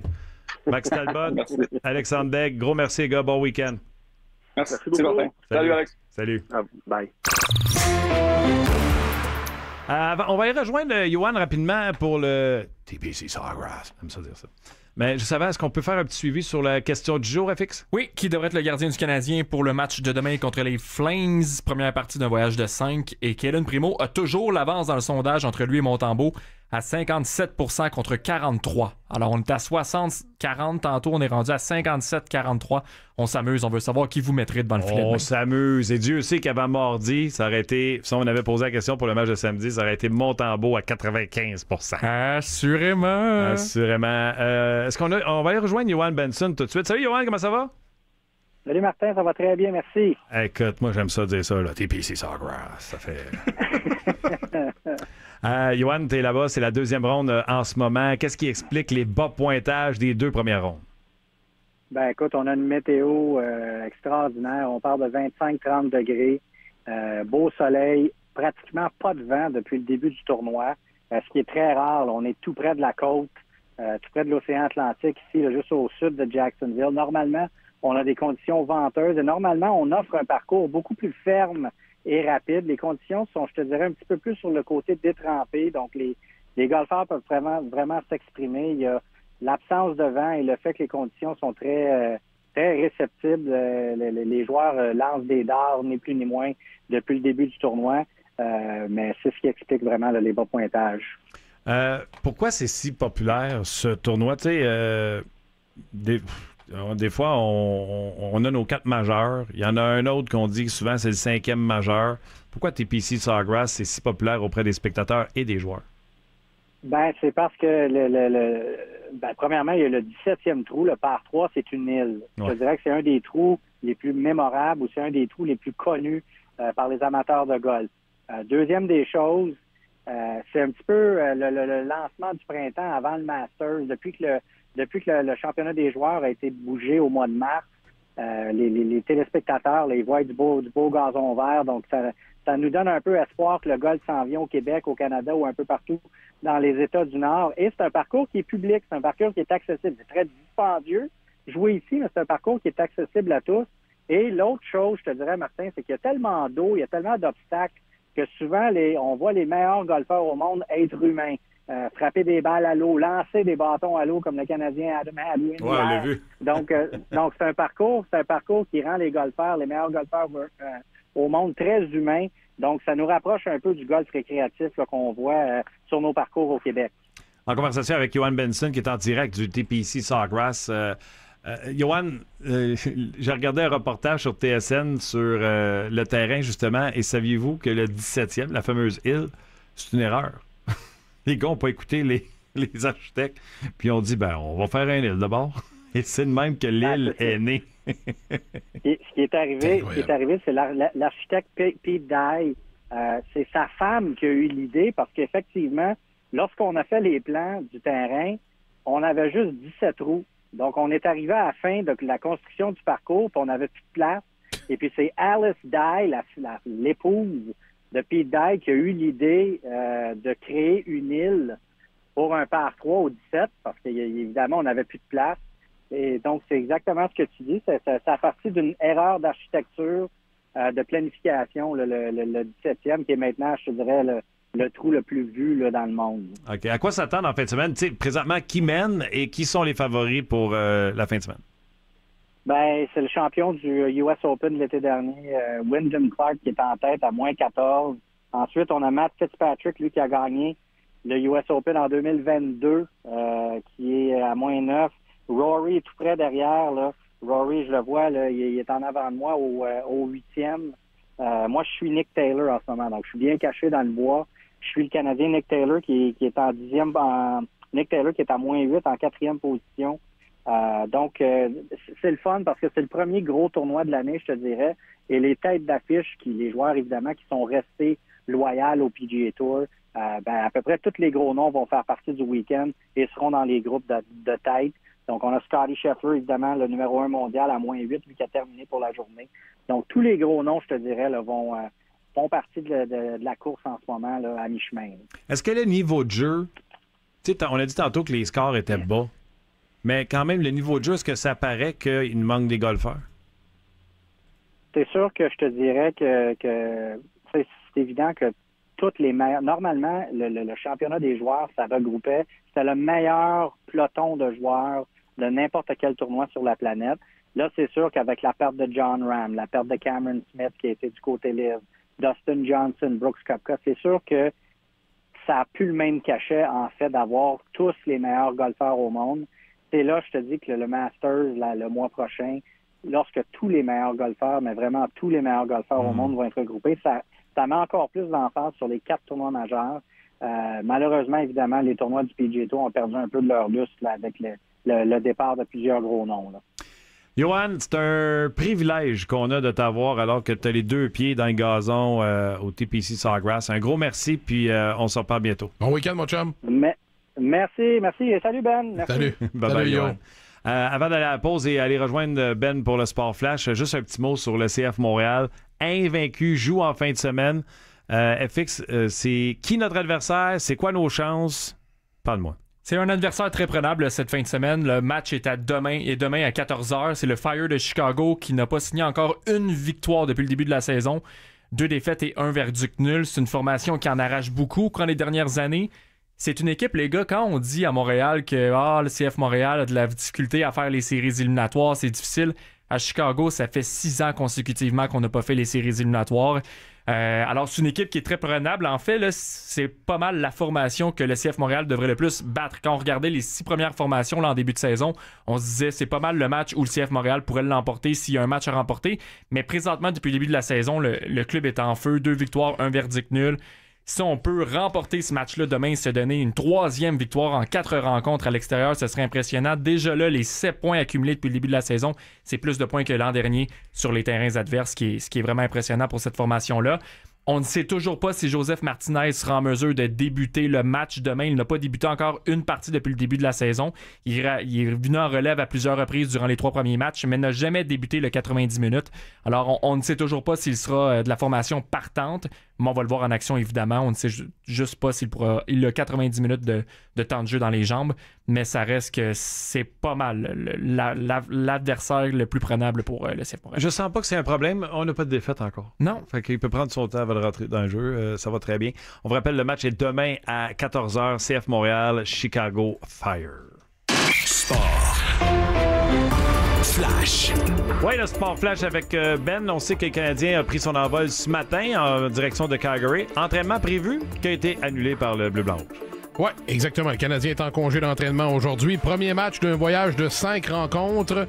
Ça débute demain soir contre les Flames. Deux matchs dans la LNH ce soir. Les Ducks sont les visiteurs à Winnipeg et les Kings affrontent les Blackhawks à Chicago. Il y a de l'action euh, au baseball majeur. Les Blue Jays qui euh, disputent un match contre les Tigers de Détroit en ce moment. Vlad Guerrero et George Springer ont frappé des circuits. Euh, nous sommes en fin de neuvième manche. Les Tigers qui mènent 9-6. Championnat de la PGA, Wyndon Clark euh, est à moins 14, 5 coups d'avance sur son plus proche rival. Le champion en titre, Scotty Scheffler, est à moins 8. Le meilleur Canadien, Corey Connors, également à moins 8. Le Rocket qui est en action ce soir du côté de la place Belle face aux Islanders de Bridgeport. L'équipe a annoncé que la saison de Xavier Simoneau est terminée à la suite d'une opération à l'épaule et que Jared Davidson ratera une période de six semaines. Jacob Dobesch sera le gardien du Rocket ce soir. La troupe de Jean-François Will qui est à un point des séries. Avant match sur nos ondes 18h30 avec Anthony Marcotte. Du côté de la NFL maintenant, Aaron Donald a décidé d'accrocher ses crampons après 10 ans dans la NFL à l'âge de 32 ans. Donald qui a obtenu un titre du Super Bowl ainsi que plusieurs titres de joueur défensif de l'année. Et attention, encore du mouvement chez les Eagles de Philadelphie. Ah. Les Eagles de Ben! Les Eagles qui ont trouvé celui qui secondera Jalen Hurts. Ah oui? Parce que Marcus Mariota est parti. Parce Qui, que. qui- parce que Marcus est parti. Kenny Pickett des Steelers s'amène à Philly. 5 heures de route entre Pittsburgh et Philadelphie. Kenny Pickett, donc le deuxième quart des Eagles, on a donné quelques choix. Les Eagles ont donné quelques choix Ah pour aller chercher Kenny Pickett. Pickett, l'ancienne université de Pittsburgh, qui a été le carrière partant des Steelers les deux dernières années, ça va substituer à Jalen Hurts. Il n'a pas aimé euh, que Russell s'amène en ville, alors il a dit Moi, je vais être échangé. Et les euh, Steelers ont échangé, puis ça va être un bon deuxième derrière Jalen Hurts. Ah ouais? Je suis surpris. Hey, Voilà. J'aime ça quand tu me surprends de même Ah! que j'ai pas vue. Euh, le chèque des idées s'en vient. François Gagnon sera là et un gars qui, euh, la dernière fois qu'on a parlé de lui, ça m'a rendu émotif. Les soirs c'est qui, bougez pas.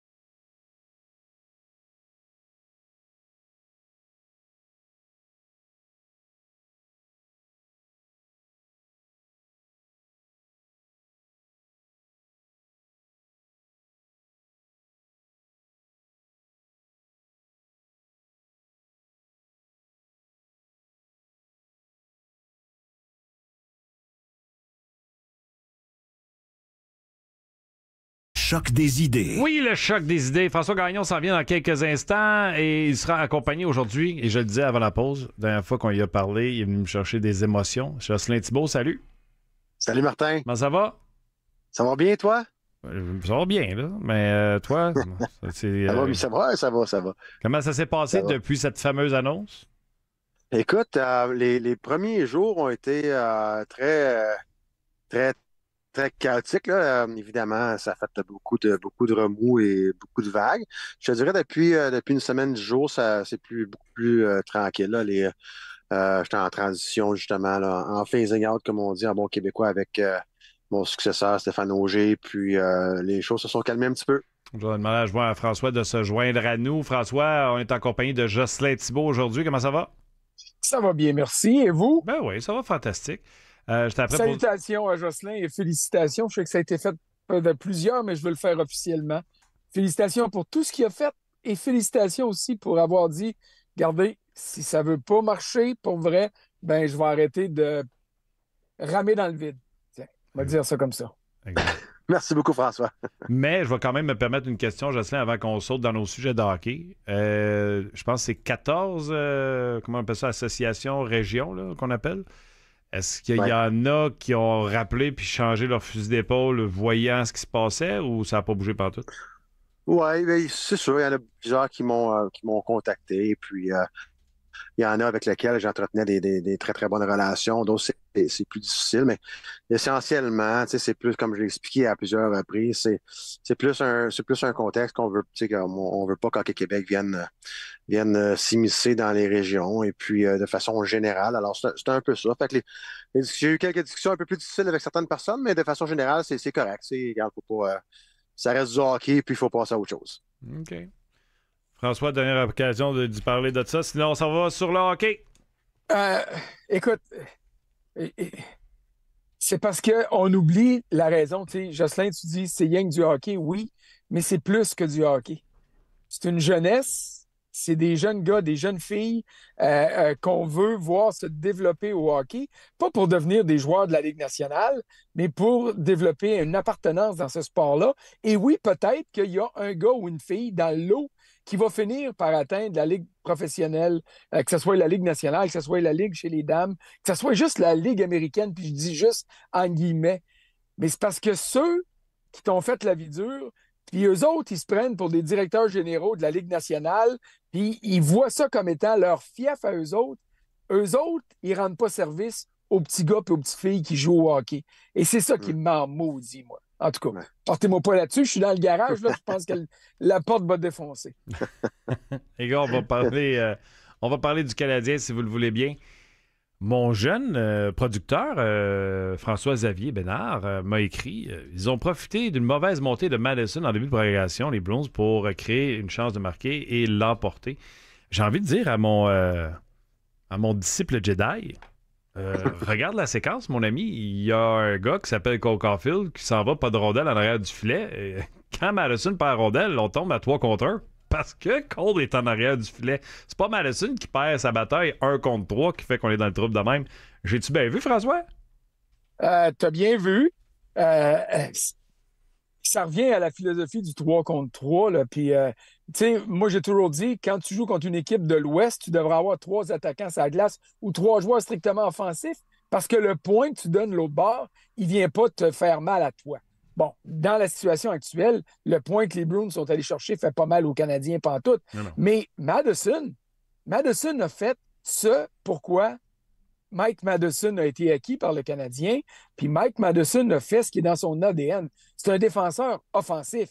Alors, si tu es sur la glace avec Mike Madison, ben, tu dois te dire, oh, oh, oh, il est parti pour la gloire. Alors, oui, tu as raison de souligner qu'il y en a un qui s'est avancé trop, puis ça fait partie de l'apprentissage, puis ils sont capables de se reprendre.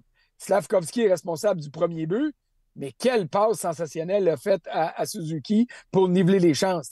Alors, ça fait partie du développement, tout ça, mais je trouve que tu as entièrement raison de rappeler à l'ordre ceux et celles qui considèrent que Matheson est le seul et unique responsable. Il s'est-tu aventuré trop loin, trop vite?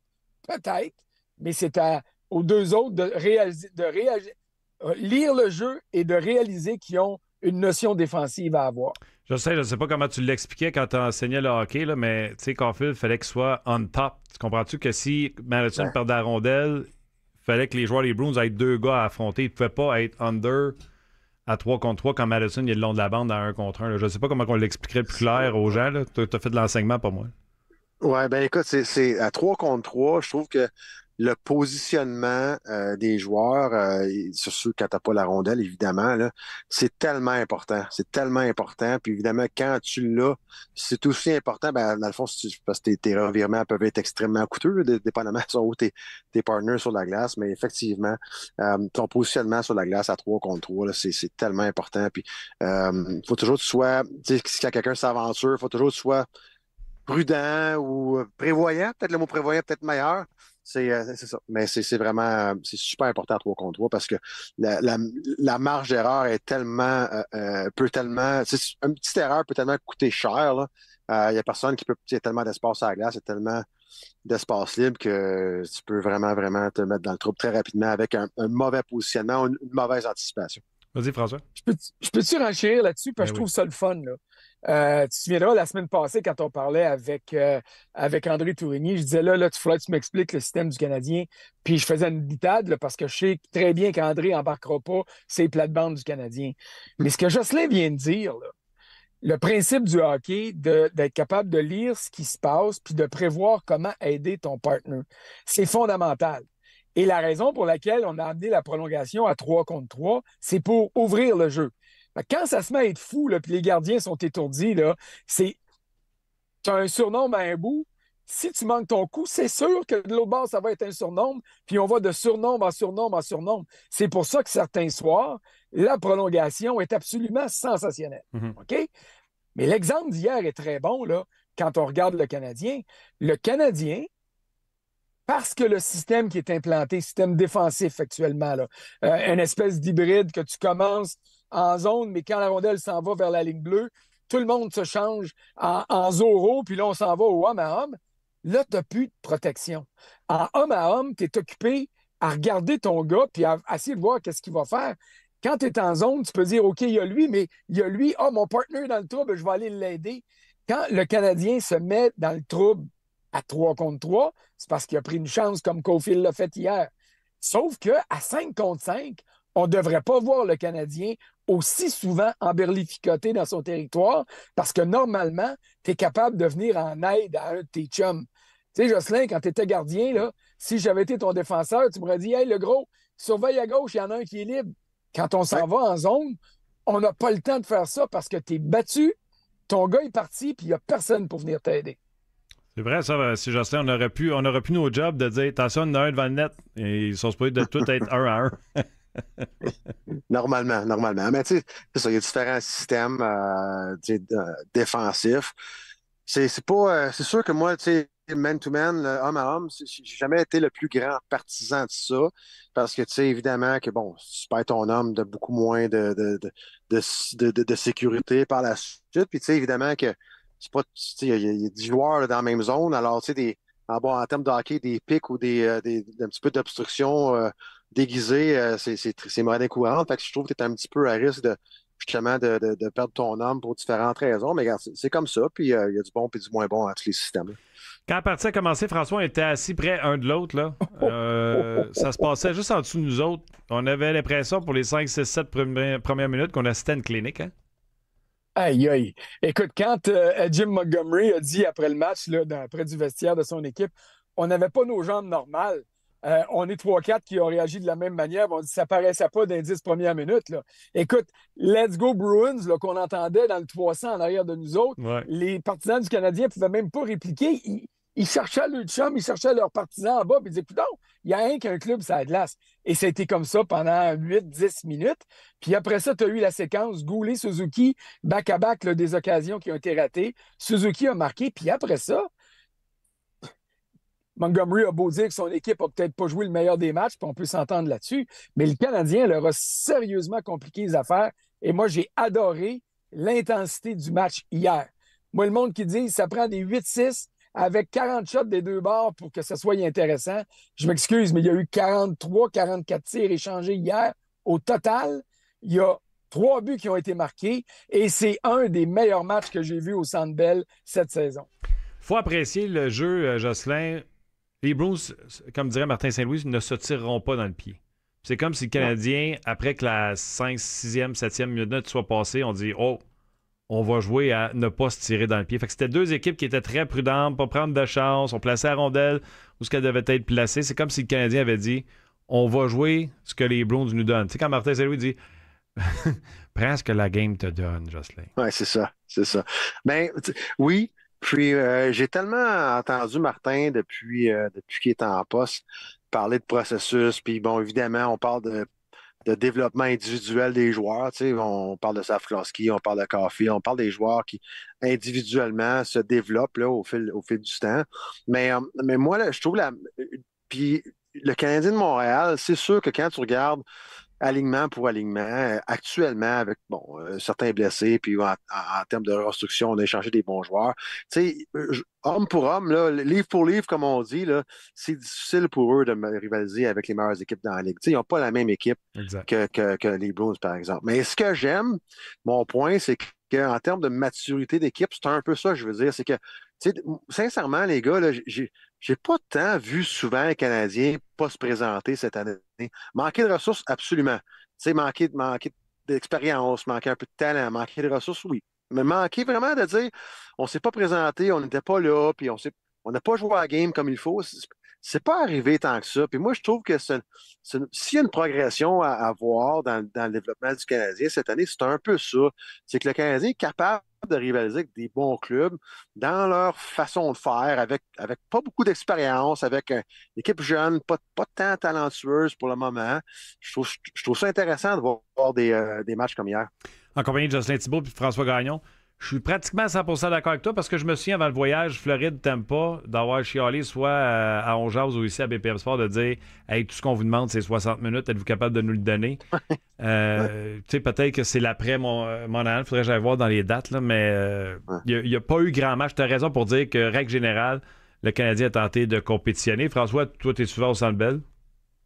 Puis c'est ce qui m'a euh, poussé à, écrire ce que j'ai écrit ce matin sur rds.ca parce que, tu sais, on entend souvent, puis tu dois le lire, tu sais, moi j'ai les des, en texto, puis sur, euh, sur Twitter ou X, là, les commentaires du monde qui disent Hey, arrêtez de dire qu'ils sont améliorés, ils sont pas bien, bien meilleurs que l'année passée. Au niveau du pointage, du classement, ils ont juste trois points de mieux que l'an passé. Je suis tout à fait d'accord avec ça. Mais hier, c'était le 21e match qui s'est décidé en prolongation pour le Canadien. Pour te rendre en prolongation, il faut que tu aies tenu tête à ton adversaire. OK? En partant, là, il faut que tu aies été dans le match, comme Jocelyn vient de le dire. Et hier, c'était le 38e match sur 66 que le Canadien perdait par un but ou qu'il gagnait par un but. Un match qui s'est décidé par un but. Donc, un match serré. Mais ne cherchez pas ailleurs dans la Ligue. Il n'y a pas d'autre équipe que le Canadien qui en a plus. Là, j'y vais de mémoire. Dallas est à 37 et les Highlanders sont à 33. OK? Puis le Canadien est numéro 1 à, à 38. L'an dernier, dans toute la saison, le Canadien a disputé 30 matchs sur 82 qui sont décidés par un but. Là, il en reste quoi? Là? Il en reste 26 à jouer. C'est déjà une nette euh, 17, amélioration sur l'an passé. tu sais? Il en reste 16. Alors, euh, 16? Oui, 16. Oh, 16, excuse. Je pense que j'ai fait une gaffe puis j'ai écrit 26. Euh, fait que, euh, je- il était rendu tard, je voulais faire frapper sur le 1 puis j'ai frappé sur le 2. Euh, ça, c'est l'excuse classique. Mais, mais ce que je veux dire, c'est que ça en est des exemples d'amélioration qui se traduisent pas nécessairement par des victoires, mais par le fait que tu es toujours dans, dans la game, dans le coup, que tu te fais pas varloper Mais- à droite puis à gauche. Mais François, puis tu sais, on a un gardien de but avec Jocelyn. C'est correct, indépendamment que si on se souvient bien du début de la saison, on disait on est chanceux d'avoir les trois gardiens parce que c'est eux qui nous volent des matchs en début de saison. Souvenez-vous de ça, les gars. Quand tu regardes le bilan puis vous dites on est peut-être juste trois points de plus, mais il y a une progression, on a été dans tous les matchs. Indépendamment de si la cause c'est à cause- en raison des gardiens de but? Je vais commencer avec Jocelyn. Ouais. Ben, c'est un bon point. Puis, euh, sincèrement, euh, Martin et François, depuis, euh, tu sais, même depuis, euh, depuis 15 ans, tu sais, on, on, on, revient aux années de Carey Price. C'est pour vrai, souvent, on se fie sur les gardiens de but à Montréal pour aller chercher des points. Souvent, quand on gagne un match, euh, on, va, euh, on, on va voir le gardien de but du Canadien de Montréal avoir une étoile dans le match. Ça, ça arrive assez régulièrement. C'est pas mal le reflet de la carrière de Carey Price, d'ailleurs. Cependant, actuellement, oui, les gardiens de but ils ont, euh, ils ont une importance euh, dans les, dans les succès ou dans les matchs ou que, que, que d'un d'un point comme on, comme on parlait tantôt, c'est sûr. Ben, tu sais, puis je regarde, je, je, je fais des chroniques sur des gardiens de but de la Ligue nationale de hockey, puis sincèrement, je- je- actuellement, depuis quelques années, là, si tes deux gardiens de but sont pas excellents durant l'année, c'est difficile d'avoir du succès collectivement. C'est sûr qu'on l'a dit, je n'ai pas, on en a parlé tantôt, Canadien de Montréal manque d'expérience, euh, bon, il y a des, des blessés importants, on a échangé des joueurs importants, on est en reconstruction, c'est correct. Puis oui, euh, on suit nos gardiens de but beaucoup. Je pense au dernier match, d'ailleurs, le match de Primo l'autre jour. Bon, euh, mais, mais je regarde à travers la Ligue, là, messieurs, là, quand tu regardes les équipes qui sont en série, là, il n'y a pas beaucoup de gardiens de but qui ont des mauvaises statistiques. Il n'y a pas beaucoup de gardiens de but qui n'ont pas eu des impacts importants euh, dans leurs équipes. Puis, on, qu'on est comme un peu rendu là dans, dans le hockey moderne. C'est que si tu veux faire les séries, puis euh, quand on dit faire les séries, c'est minimum 95-96 points. Faut, faut que tu frôles le sang, là. Mais ça te prend deux excellents gardiens de but. Fait que je pense qu'à Montréal, c'est pas différent. C'est sûr que là, comme je disais tantôt, avec l'inexpérience, puis le- bon, euh, l'équipe, c'est encore plus important, mais écoute, tout le monde a besoin de deux bons gardiens de but. C'est ça que je veux dire. Ouais, c'est clair. T'as, t'as besoin de deux bons qui font un job? Regarde, là, regarde ce qui arrive avec Détroit, là. Ils ont perdu quoi, là? C'était leur septième de suite? Hier, huitième de Ouais, suite, là? Ben, Alex Lyon, il a beau euh, gagner 4-5 matchs l'an passé en fin de saison pour aider les Panthers à se rendre en série. euh, euh, c'est Bobrovski qui s'est rendu jusqu'à la finale de la Coupe Stanley. Là. Alex Lyon faisait encore cette année des miracles. Il jouait au-dessus de sa tête. Depuis 7-8 matchs, il n'est plus capable d'arrêter la rondelle. Les Red Wings glissent au classement. Les Islanders sont revenus. Puis, c'est qui le club qui arrive, là? Qu'on ne voyait Sabres. pas depuis le début de l'année? Les Sabres. Les Sabres de Buffalo. Et pourquoi il arrive? Parce que finalement, ben, on attendait Devon Levi devant le filet, puis il va peut-être être bien bon dans 2-3 ans, Devon Levi. Mais il ne faisait pas le job cette année. Là, oups, il y en a un qui s'installe, qui est en train de justifier des considérations pour euh, euh, peut-être pas un vote de première, deuxième, troisième place, mais certainement un vote de cinquième place, peut-être dans la course euh, au, au trophée Vézina. Alors, c'est- comme ça partout, puis Jocelyn, tu as raison de le souligner. Ah ouais, c'est Hugo Pekka Lekonen que tu parles. Il est rendu quatrième meilleur pour la moyenne de points mérités euh, dans la Ligue nationale de hockey. Permet aux Sabres d'avoir une chance de gagner à chaque match. Êtes-vous confortable, les gars, rentrer en, sa- en saison prochaine avec Montembeau et euh, Primo comme gardien de but, comme duo, Jocelyn? Moi, absolument. Absolument. Tu sais, où est-ce que l'équipe est rendue euh, dans son développement? Euh, euh, je vois pas. En fait, je poserais, je, je vous retournerai la question. Pourquoi pas? Tu sais, je veux dire, pourquoi pas? Tu as deux gardiens de but. Je pense qu'ils ont, euh, ont vraiment euh, montré des, des belles choses en matière de développement. Euh, bon, je comprends qu'on pas une partie du salaire de Jake Allen, mais c'est pas deux gardiens de but qui coûtent vraiment très cher. Euh, il prouve, euh, euh, ben, on va voir, il reste encore euh, des matchs d'ici la fin de la saison, mais les deux, ils ont des choses à prouver. Moi, je vois pas pourquoi que on pourrait pas commencer la saison prochaine avec ces deux gars-là. Euh, T'en as vu, François, toi, des gardiens de but? Là, on est en train de revivre là, euh, Théodore ou Thibault? Thibault ou Théodore? Ah, ça, c'était, ça, c'était épouvantable. J'étais là, d'ailleurs. euh, c'était je pense qu'il était, je pense qu'il était là. Et puis, euh, ça, je trouvais ça pénible pour tout le monde. Mais, gars, c'était un bon exemple. Jocelyn est parti de Montréal. Il y avait une pression qui était étouffante. Puis ça, je- on en a déjà parlé, puis j'ai déjà écrit là-dessus. Mais Jocelyn s'est révélé après ça quand il est allé à Pittsburgh, quand il est allé à Chicago. Chicago. C'est là qu'il a été en mesure de prouver que c'était un maudit bon gardien de but. Alors, ta question, c'était êtes-vous à l'aise? J'étais à l'aise. Je, je- je suis parfaitement d'accord avec la réponse de Jocelyn quand il dit pourquoi pas. Personnellement, j'aurais préféré un duo Jake Allen, Samuel Montembeau la prochaine. Parce que c'est pour des raisons bien difficiles à expliquer, puis je suis pas un spécialiste des gardiens, mais Kaden Primo, qui fait très bien depuis euh, 3-4 départs, m'a jamais inspiré confiance vraiment. Mais il n'a pas le bagage d'expérience. Euh, la pandémie, il a coupé bien des matchs qui sont nécessaires pour l'apprentissage. Fait que peut-être qu'il va prouver que j'ai complètement tort et je le souhaite pour lui puis pour le Canadien. Mais personnellement, j'aurais préféré avoir Allen et Montembeau l'an prochain. Sauf que Kent Hughes a eu un choix de troisième ronde, alors qu'il y en a qui pensaient qu'il faudrait payer pour qu'il parte. Tu vois, ben finalement, ça a donné quelque chose aux Canadiens. Pour les gens qui suivent euh, l'histoire David Runbacker, les Lions doivent l'emporter pour que Runbacker vienne jouer ici dans un match numéro 7. Les Lions mènent 2 à 1 en ce moment. Donc, on a besoin d'une victoire des Lions pour que Runbacker s'en vienne en Amérique du Nord, qu'on arrête d'en parler, puis qu'on le voie pour le croire, ce qui se passe avec Runbacker. Donc, on suit même Mais la c'est pas dessus. C'est pas automatique. Il faut que le Canadien obtienne. Il va quand même peut-être avoir une autre série. Fait que ça ne voudra rien dire si les Lions gagnent. Mais euh, euh, Larry Mitchell va certainement donner. Je, dis certainement, je ne devrais pas dire ça. J'y ai pas parlé, mais s'il donne le feu vert à Ryan Baker de revenir, euh, il pourrait s'amener à Laval dans les prochains jours. Ouais, dossier à suivre. Je sais qu'il y a une, équipe là, qui attend pour voir s'ils peuvent être rel- relayés dans la division supérieure. Alors, euh, ce serait intéressant de voir la suite des choses. Mathias sera là tantôt euh, pour nous, euh, nous en parler. Je suis certain qu'il regarde ce match-là. Je ne sais pas pourquoi. Les gars, le Canadien qui s'en va du côté de l'Ouest, les Flames samedi, les Oilers après ça mardi.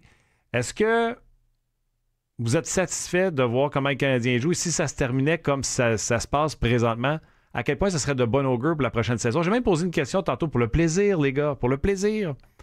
J'ai dit si le Canadien venait à gagner la loterie Celebrity, est-ce que ça accélérerait la reconstruction? Puis de la façon que le Canadien joue, les tours de magie que Hughes fait l'été, est-ce qu'on pourrait penser que la reconstruction serait plus rapide que le Canadien compétitionnerait dès l'an prochain pour les séries, François?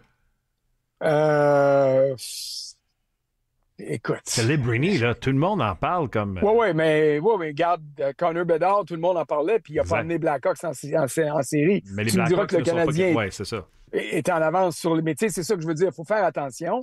Euh, moi, je considère que le Canadien a besoin d'une autre saison de transition avant de vraiment être un club de série. Mais garde, les Flyers l'ont fait cette année. Là, Là, ça risque peut-être de péricliter puis qu'ils vont glisser en dehors. On verra ce qui va leur arriver. Mais je reviens sur le principe du hockey significatif. Le Canadien, hier, a joué un match significatif, un match intéressant. Il en reste 16. Il faut que ce soit comme ça dans 12, 13 des 16 dernières parties. Puis l'an prochain, quand Dak va être là, puis espérons pour lui puis pour le Canadien qu'il va être là pour 80 matchs minimum, bien là, on va être en mesure d'évaluer encore mieux.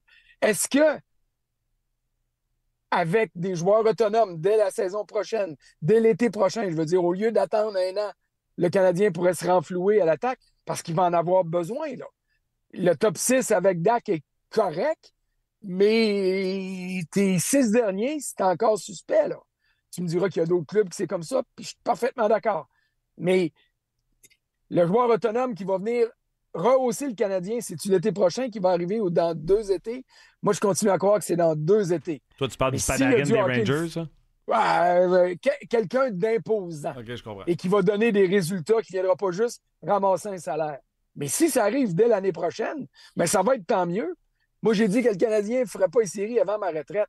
S'ils font les séries avant ma retraite, euh, ça va être tant mieux pour eux autres. Puis, mais tu quoi? Ma dernière année ou mes deux dernières années vont être pas mal plus intéressantes. Tu retires quand euh, pour euh, qu'on prenne ça en note? Euh, écoute, ben, ça dépend du boulier. La 649 puis l'Automax, ça, ça aide bien gros à dire bye bye boss.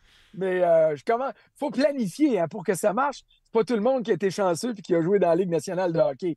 Moi, je suis très, très chanceux, gâté par la vie avec la job que j'ai eue, mais ça va être encore une coupe d'années. OK, c'est bon, on va le garder un bout. Jocelyn, crois-tu à une Ouais. accélération de cette reconstruction? Il faut vraiment être patient? Ben écoute, euh, c'est une excellente question. Moi, je regarde, j'aime beaucoup ce que je vois, OK? Parce que là, actuellement, euh, les joueurs qui, qui mettent l'équipe sur leurs épaules, c'est des jeunes, right? Tu sais, c'est pas, pas, tu sais, j'aime bien Tanner Pearson et ces gars-là, mais c'est pas ces gars-là, euh, Anderson, c'est pas ces gars-là qui vraiment qui mettent euh, l'équipe là, euh, sur leurs épaules. C'est des jeunes qui font ça actuellement. Ça, je trouve ça super encourageant. Super encourageant. Euh, moi, effectivement, il va falloir amener du renfort à ces gars-là. Puis là, c'est c'est à quel moment? C'est-tu la- c'est-tu- c'est-tu l'année prochaine? C'est-tu dans deux ans? Moi, je pense que d'ici tu sais, d'ici un- d'ici 18 mois, je vais le dire comme ça, là, il faut, faut- il faut, viser série. Là. Tu sais, je pense que euh, il faut se donner il faut se donner un, un objectif justement de, d'être de rentrer dans, dans cette danse-là. Puis euh, je pense qu'il faut passer éventuellement à une autre étape. Pas trop vite parce que, tu sais, je regarde certaines équipes qui ont voulu provoquer euh, les choses. Je regarde Ottawa à titre d'exemple des dernières années. C'est l'exemple le plus facile qui me vient en tête. Euh, c'est, ça n'a pas toujours été comme les gens euh, espéraient. Mais moi, je pense que ce qui est, ce qui est intéressant, comme je te disais, c'est les jeunes transportent leur équipe sur leur épaule, leurs épaules. Moi, je pense que ça prend un petit peu de renfort. Vous avez parlé d'un joueur tantôt, moi, je pense qu'il est une, une clé très, très importante pour la suite des choses, c'est, Dak. Ben oui. Pour moi, si ce gars-là, l'année prochaine, peut être en forme, jouer 82 matchs, euh, euh, moi, je pense que ce gars-là peut changer la donne. Parce que tu rentres, tu rentres Dak, puis tu rentres un autre top 6 avec lui. Moi, je pense qu'on pourrait avoir une- des belles surprises l'année prochaine. On se le souhaite. Les gens le souhaitent également. Je pense que les gens ont, ont hâte d'avoir une équipe comme les Bruins qui est en série 16 ans sur. euh, non, 14 ans sur 16 ans, qui manque les séries juste deux fois en 16 ans. Les gars, vous avez été excellents. Euh, François, on te laisse sortir du noir. Jocelyn, encore un gros merci.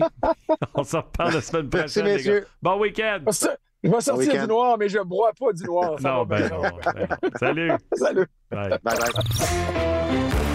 Euh, notre question sondage, euh, qui voulez-vous avoir dans le filet demain? Est-ce que c'est Caden Primo ou Samuel Montambeau? Déjà, le résultat est impressionnant ou surprenant, FX. Ça se rapproche, ça se rapproche. On est à 52% pour Caden Primo et 48% pour Samuel Montembeau. Quand on a débuté le sondage, c'était 60-40 pour Montembeau, pour euh, Primo.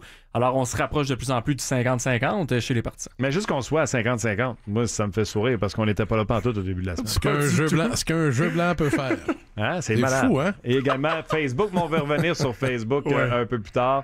Euh, restez avec nous. Au retour, il se passe encore de l'action dans la NFL. Puis vous l'aimez beaucoup, puis nous autres aussi, fait qu'on a dit on va ramener Renaud. Re- Renaud. Manquez mon coup. On va ramener Arnaud.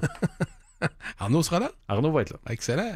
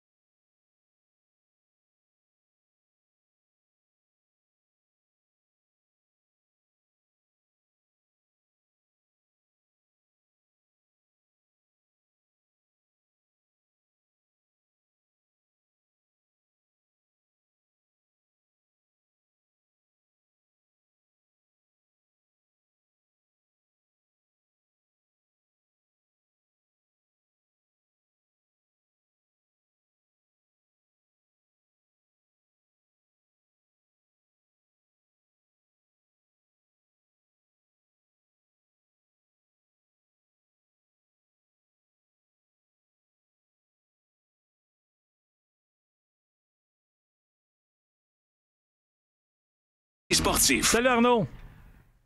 Salut Martin, comment ça va? Ça va bien toi? Très, très bien, fait beau. Ouais, magnifique. Euh, c'est une belle journée. Beau vendredi. Ouais. Belle journée pour prendre sa retraite. Aaron Donald euh, qui euh, annonce sa retraite. Deux choses là-dedans. C'est correct, c'est un excellent joueur, mais pourquoi il l'a pas fait avant pour permettre à son équipe de pallier à sa perte? Une bonne question. Je, je- écoute, euh, ça, a pris tout le monde un peu par surprise. Euh, je pense qu'Aaron avait souvent, des fois, insinué qu'il voulait pas faire ça trop longtemps. Euh, Est-ce que c'était quelque chose qui était déjà prévu ou en tout cas euh, mentionné à l'équipe depuis un bout? On, ne le saura pas aujourd'hui. Mais je garderai pas trop en rigueur ça. Je pense pas que c'est quelque chose qui est irréfléchi. Je pense que c'est quelque chose auquel je l'ai déjà entendu plusieurs fois dire que il voulait pas se rendre jusqu'au bout, il voulait partir sur ses deux pieds puis accomplir ce qu'il avait déjà accompli. Il a laissé 35 millions sur la table pour revenir jouer l'année prochaine. Et potentiellement un autre contrat de 100 millions pour, euh, pour trois ans, là, après qu'il aurait pu signer. Donc, euh, il a gagné son Super Bowl, il a fait ce qu'il avait à faire. Pour moi, je pense que l'équipe devait être au courant quand même d'une certaine façon. On verra les détails de ça qui vont suivre dans les prochains jours ou voire semaines. là. Il a été considéré comme un des meilleurs joueurs, sinon le meilleur joueur euh, défensif de son époque. Euh, Où tu le places dans les joueurs de sa position dans l'histoire de la NFL? Est-ce qu'il est au sommet? Écoute, à, à l'image d'un autre qui vient de prendre sa retraite, comme Jason Kelsey, c'est deux joueurs qui euh, sont très uniques à leur position. Tu sais, quand je pense à Aaron Donald, moi, ma dernière année en 2018, euh, dans la Ligue canadienne de football, mon coach de D-line, à un moment donné, il est arrivé dans un meeting, puis il a dit, je viens de parler avec un, de mes chums qui coach au- aux Rams, puis Aaron Donald vient de se peser à 262 livres. 5 et 11 et demi, 260 262 livres au mois de novembre à peu près dans l'année. Ça n'existe pas, ça. Tu sais, je veux dire, Jordan Davis euh, à Philadelphie est 360 livres, 6 pieds 6. Donc, il bench 500 livres. Tu sais, un, un- un- un- gars hyper fort qui est très petit. Il n'y en aura pas d'autres petits comme ça. Ça n'existe pas. Souvent, des gars petits comme ça, à sa, taille, on les fait changer de position plus jeunes. Donc, il est très unique, comme Jason Kelsey l'était, très athlétique. Euh, couru 4-6-4, je pense, à son, à son combine, sa journée de, euh, de, sa journée d'évaluation. Écoute, c'est élite, là. 4-6-4, c'est- vite pour un joueur de ligne, c'est vite pour un secondaire, c'est vite pour. Il y a des porteurs de ballon qui courent 4-6-4. Donc, euh, je veux dire, c'est inimaginable la- l'athlétisme de ce gars-là dans un petit format à la force qu'il avait. Donc, pour moi, il est au sommet parce qu'il est unique dans sa catégorie. Tu peux pas comparer ce gars-là, disons, à Vince Wilfork. C'est un bon exemple. Il joue la même position. Tu vois que tu peux pas les comparer, c'est impossible. Donc, Aaron Donald était unique. Un gars qui euh, a redéfini même la façon que la ligne à l'attaque jouait quand jouait contre lui. Des fois, même, il se plaçait comme ailier défensif. Des fois, c'est comme Chris Jones fait. C'est pas mal Aaron Donald qui l'a fait en premier. Euh, des fois, il revenait à l'intérieur. Bref, il jouait partout. Et euh, écoute, il a été un cauchemar pour les lignes à l'attaque. Donc, je le mettrais en haut parce qu'il est tellement unique. Je regardais Feliciano aujourd'hui, le, O-line des 49ers, qui dit Greatest day of my life, just re-signed a contract and Aaron Donald just retired. Exact. Mais j'ai montré les photos à FX d'Aaron Donald sur les médias sociaux à l'entraînement. C'est un physique de dieu grec. Là. Exact. Écoute, 262 livres. Mais Moi, je pesais ça quand je jouais. Je veux dire, c'est comme si Ça Aaron cote, là. Donald mangeait FX puis ça donnait Jordan Davis. Tu sais, ça n'a pas de bon sens, là. C'est, presque, là. Mais le gars, et puis, trouvez-moi un clip d'Aaron Donald qui se fait brasser à l'intérieur, tu sais. Donc, euh, il était capable de compenser par une force inimaginable. Tu sais, les batailles qu'il y a eu, ce gars-là, sur le terrain, s'il y en a qui veulent regarder ça, Aaron Donald se battre, là. J'ai jamais vu un gars pas de même de ma vie dans, des batailles face à des gars tout le temps de 300 quelques livres. T'avais une force, là, juste son avant-bras, je pense, c'était la taille de mon cou. Euh, c'est comme, je pense pas qu'on va recroiser ça vraiment de sitôt, une bébite comme celle-là. là. OK. Euh, non, puis les, photos sont vraiment in- incroyables sur les médias sociaux quand on regarde Aaron Donald à l'entraînement. Quel, euh, quel physique. Tu sais, c'est pas le physique type comme tu parlais euh, tout à l'heure pour un joueur de ligne euh, défensive. Parle-moi des Chargers qui ont échangé euh, un autre receveur de passe. Et là, la question, c'est les Bears ont fait une bonne transaction ou euh, Herbert n'aura plus personne à qui passer la balle avec les Chargers?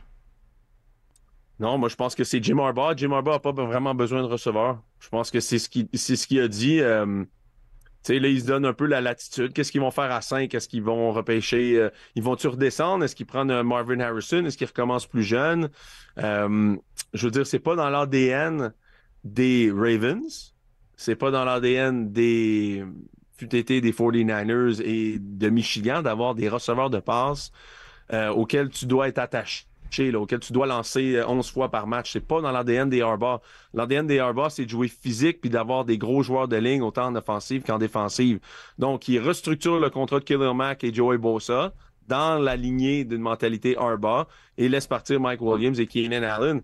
Moi, je pense juste que c'est dans leur mentalité. Ils signent Gus Edwards, ils vont courir la balle. Ils vont être physiques, ils l'ont dit à tout le monde. De l'autre côté, je pense que les Bears ont fait un, un coup de maître. Là. Ça leur coûte pas cher en termes de repêchage. Euh, c'est un contrat d'un an, en gros. C'est un contrat d'un an et là, ça devient alléchant là, pour avoir un Caleb Williams euh, euh, pour venir jouer là. Il s'amusait avec DJ Moore et avec, euh, avec euh, dès l'année 1. Là. Fait que ça, c'est assez intéressant ce que les Bears sont en train de mettre sur pied. Hier, ils ont remonté beaucoup dans mon estime avec ce- cet échange-là. là. Ah oui, ben j'ai hâte de voir ce qui va se passer parce que là, c'est la conversation aux États-Unis présentement. Qu'est-ce qu'on fait avec Justin Field? Tu peux-tu le garder comme numéro 2? Tu commences-tu l'année avec lui? Là, il y a ceux qui disent, voyons donc, Williams acceptera pas ça de se faire repêcher tout premier au total et d'être le numéro 2 alors qu'il est considéré comme la plus belle, le plus beau jouet depuis euh, Andrew Locke. Alors, Ouais, euh, Écoute, tout se passe là pour les Bears. Tout, tout, tout se passe là. On, on a beau dire, ils ont eu une excellente saison morte l'année dernière. Ils ont eu une excellente saison morte encore cette année, mais là, c'est crucial. là. Ils peuvent pas se planter.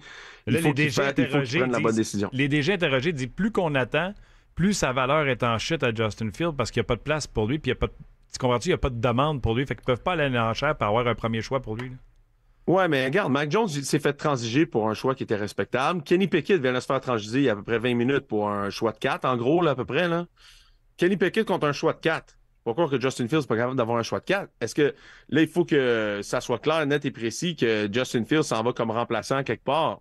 Est-ce que eux autres trouvent que la valeur est plus grande pour eux que de le garder? C'est à eux autres de voir, mais. Où tu le vois? Moi, je. Moi, je le voyais bien à Seattle. Euh, au Ouais. départ, je le voyais à plein d'endroits. Tu sais, je l'aurais vu à Las Vegas, par exemple, pas mal plus que Garner Minshew. Euh, mais là, je le vois à, à Seattle. Je veux dire, il, il va avoir un job de remplaçant. Attends, il peut aller Garner- quelque part que ça peut. Attends, Garner, est-tu partant? Ben oui, on dirait que les Raiders s'enlignent pour faire ça. Garner Minshew, c'est une équipe par année. Ouais, mais euh, deuxième, puis par la des, des choses tombent Mais, premier. Les mais- gars, permettez-moi de poser une question. à- Permets-moi, euh, Martin. Justin Fields, Arnaud, qu'est-ce qui s'est passé? Qu'est-ce qu'on ne sait pas? Parce que ce gars-là était supposé relever les Bears de Chicago. On s'attendait à beaucoup de ce gars-là. En fin de saison, à partir de la moitié de la saison l'an passé, Justin Fields a commencé à nous démontrer vraiment son, son talent. La saison se termine et puis là, il n'y a plus de valeur. Il s'est passé Hmm. quoi? Moi, je pense que c'est comme ça que la, la vie est rendue, euh, Ben. Moi, je pense que c'est. La vie est Regarde, rendue Bill- tough de Bill- même. Mais regarde, Tom Brady avait combien d'équipes qu'il voulait? Ben, il y avait les Pats. Deux. Deux. Non, non, non, non. Quand les Pats sont laissés Ah, partir. quand il il y en l'a laissé deux. partir, OK, ouais. Il y avait Tampa Bay, puis il y avait les Raiders. Et les Raiders ont finalement dit non, merci. Donc, il n'y avait personne. Aaron Rodgers, il y a combien d'équipes qui courait après? Il n'y en avait pas une. Quand Green Bay a dit on veut plus de toi, il s'en allait où? Il a dit ah, finalement, je vais aller aux Jets. Non, mais c'est la seule qui t'a dit qu'il était intéressé. Je Euh, Bill comprends. Belichick, il coach où l'année prochaine? Non, je comprends, mais ce sont des, des gars en fin de carrière. Là, Justin Fields, il, il- il débute sa carrière. En tout cas, moi, OK, de- demain, mat- OK, ben, demain matin, tu prends Aaron Rodgers ou Justin Fields dans ton équipe? Justin Fields.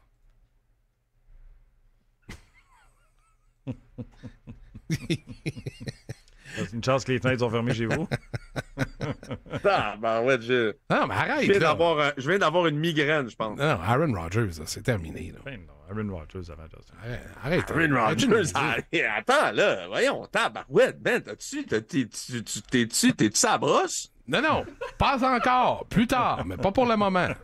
Ah, ben ouais, là, ça n'a pas de bon sens, là. Non, celle-là, ça n'a ça, ça a aucun bon sens. Non, mais attends une minute, là. Justin Fields, on va arrêter, là. C'est un bon corps arrière. Il s'est passé de quoi? Il y a de quoi qu'on sait pas, Arnaud?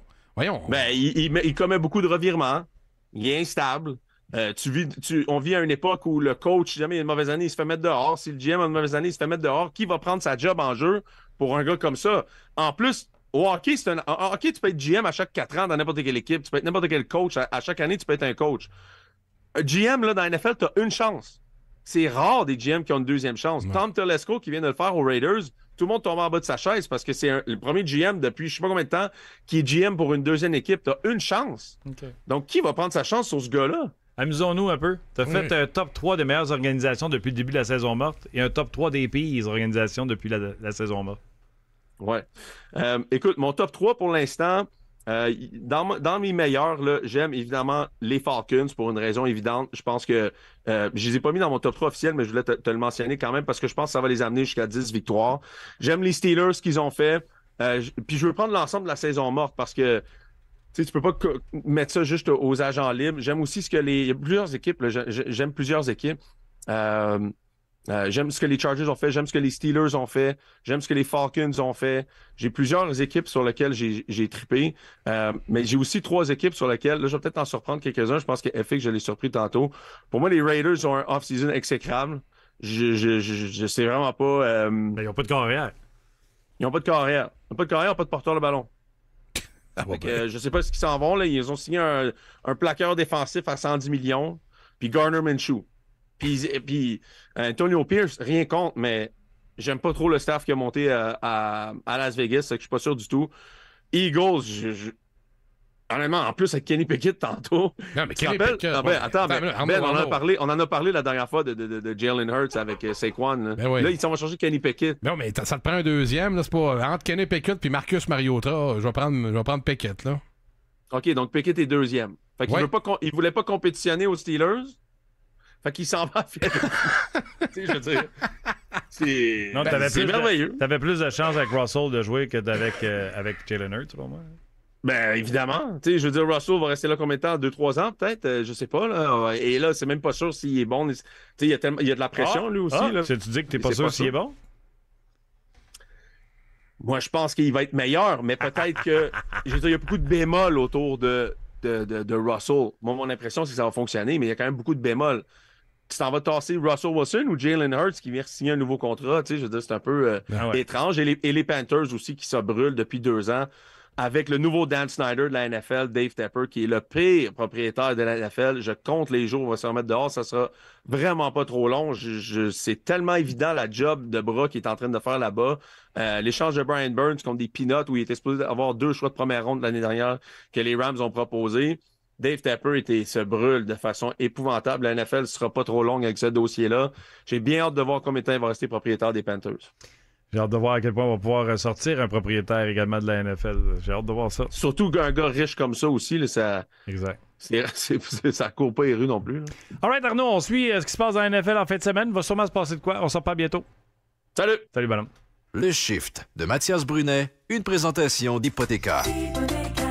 Avant de magasiner pour sa première maison, c'est important de faire un budget. Pour t'aider à faire les calculs et déterminer combien tu peux payer, trouve ton courtier au hypothéca.ca. Ton hypothèque, on s'en occupe. Comme à chaque présence, il va tout donner. Et même plus. Ah ouais, ça glace! C'est le shift de Mathias Brunet. Hello, Mathias. Hello? Alors, on rejoint notre euh, correspondant en Suisse pour savoir ce qui va se passer avec euh, David Ranbacker. Euh, Mathias, tu suis ce qui se passe avec les Lions? Oui, puis là, c'est compliqué un peu, là. Bon, comment ça? Les, ben, on va, on va mettre ça pour, on va mettre ça simple pour les gens. Si Zurich gagne, Reinbacker peut s'en venir maintenant. Ils sont dans un septième match de demi-finale. Donc, euh, en- Zurich menait 2-0 après une période, ce qui était bien. Euh, L'adversaire a provoqué l'égalité 2-2. Là, c'est FX vient de me... Alors que j'entrais en onde, FX vient de me dire 4-2, mais il ne m'a pas dit pour qui? Lyon. Les Lions. C'est encourageant. Donc, en principe, si les Lions de Zurich s'accrochent à cette avance de 4-2 en troisième période, la saison de Reinbacker est terminée parce qu'ils n'ont pas à jouer de match de relégation. On va, on va laisser faire les autres détails pour ceux qui n'ont pas suivi ce qu'on, notre compte rendu depuis quelques semaines, mais c'est simple. Donc, on est à 15 minutes de euh, voir Reinbacker faire ses valises, s'en venir, et là, euh, on- on devine que selon le plan initial, c'était Laval. Moi, j'ai hâte de voir qu'est-ce qu'on si on va s'en tenir à ce plan-là. Parce que ça, ça peut avoir l'air fou, là, Martin, comme ça, mais tu as le Canadien qui est éliminé. Il n'y a pas d'enjeu. Et tu as Laval qui se bat pour une place en série avec un groupe de joueurs soudés. Est-ce que tu t'en vas briser ça? Tu souviens-toi, Struble n'avait pas joué les matchs, euh, tu regardais, il était dans les estrades. Est-ce que tu veux faire ça avec Struble? T'as mieux qu'il joue. Fait que tu te dis, s'il est être dans les estrades à Laval, parce qu'on va pas briser la chimie, tout bien de le faire jouer à Montréal où on est éliminé. Mais là, est-ce que tu amènes Ryan Backer à Laval, puis tu sors un régulier de la formation qui se bat depuis des semaines pour aider cette équipe-là à être en série? Là, tu sors, puis je sais que ce pas des noms qui sont connus ici, les, les Toby Bisson, euh, les Galipo, mais c'est des gars importants, puis c'est des leaders dans ton vestiaire, Jean-François Houle. Ça peut être compliqué. J'ai hâte, très hâte. Puis là, encore là, là j'imagine c'est toujours 4-2, puis FX continue à suivre, puis nous le dire. mais si ça vient en fin de semaine, j'ai très hâte de voir ce qu'on fait. Est-ce qu'on est-ce qu'il est assez prêt pour, être pour venir à Montréal puis jouer sur une troisième paire à droite en se disant c'est devenu un laboratoire. Oui, Martin Saint-Louis veut gagner, mais on n'a pas d'enjeu de série, donc c'est peut-être plus facile de le faire jouer en haut qu'en bas. Je devine qu'on va l'envoyer à Laval, mais euh, ça va être la gestion. Ta prédiction, c'est Laval? Ma prédiction, c'est Laval. Est-ce que Struble, c'est le même cas? Euh, t'es-tu en train de me dire qu'ils ne feront pas jouer Struble s'il est redescendu? Mais Struble, c'est pas pareil parce qu'il était là au début de l'année. OK. Fait qu'il. Ben, Puis c'est un gars. C'est quand même un gars qui arrive de la Ligue nationale, donc il a un statut. Ça, fait moins mal de, de, l'entrer dans la formation parce qu'il arrive, il est dans la même organisation en ce moment, puis il a joué dans la Ligue nationale. Là, tu as Ryan Backer qui est un kid de 19 ou 18, 19, qui arrive de Suisse, puis tu sors. Tu sais, c'est plus un. À ce stade-ci de sa carrière, c'est plus considéré comme un mercenaire parce qu'il n'a pas joué avec l'organisation encore. OK. T'aimes ça? Mais, je suis sûr que Hull, Jean-François Hull, je suis sûr qu'il ne va pas triper nécessairement, même si c'est un bon soldat, puis il va penser à l'organisation. T'aimes ça dans ton podcast, les questions des auditeurs? Oui. Fred? Et, dans mon segment avec toi aussi. Fred, sur la messagerie texte. Le Canadien ne remporte pas la loterie, repêche 6-7. Ouais. Es-tu prêt à donner ton premier choix, Aaron Backer, pour le premier au total, Celebrini? Ben oui. Ben oui. Celebrini, c'est une grosse coche, là. C'est dans la catégorie des Jack Hughes, là. C'est. Tu regardes sa production de points, je sais que Cooley avait. C'est un Cooley aussi offensif avec, moins de défauts défensifs. Ben oui. Mais, écoute, c'est quand la dernière fois qu'un club a échangé son, son premier choix? En tout cas, la dernière fois, c'est pas Sedin? C'est de Fleury, 2003. Tu penses que c'est là? Oui. Fait que ça fait quoi? 21 ans. Hmm. Ça n'arrivera pas. Non. Normalement, ceux qui l'ont veulent les garder.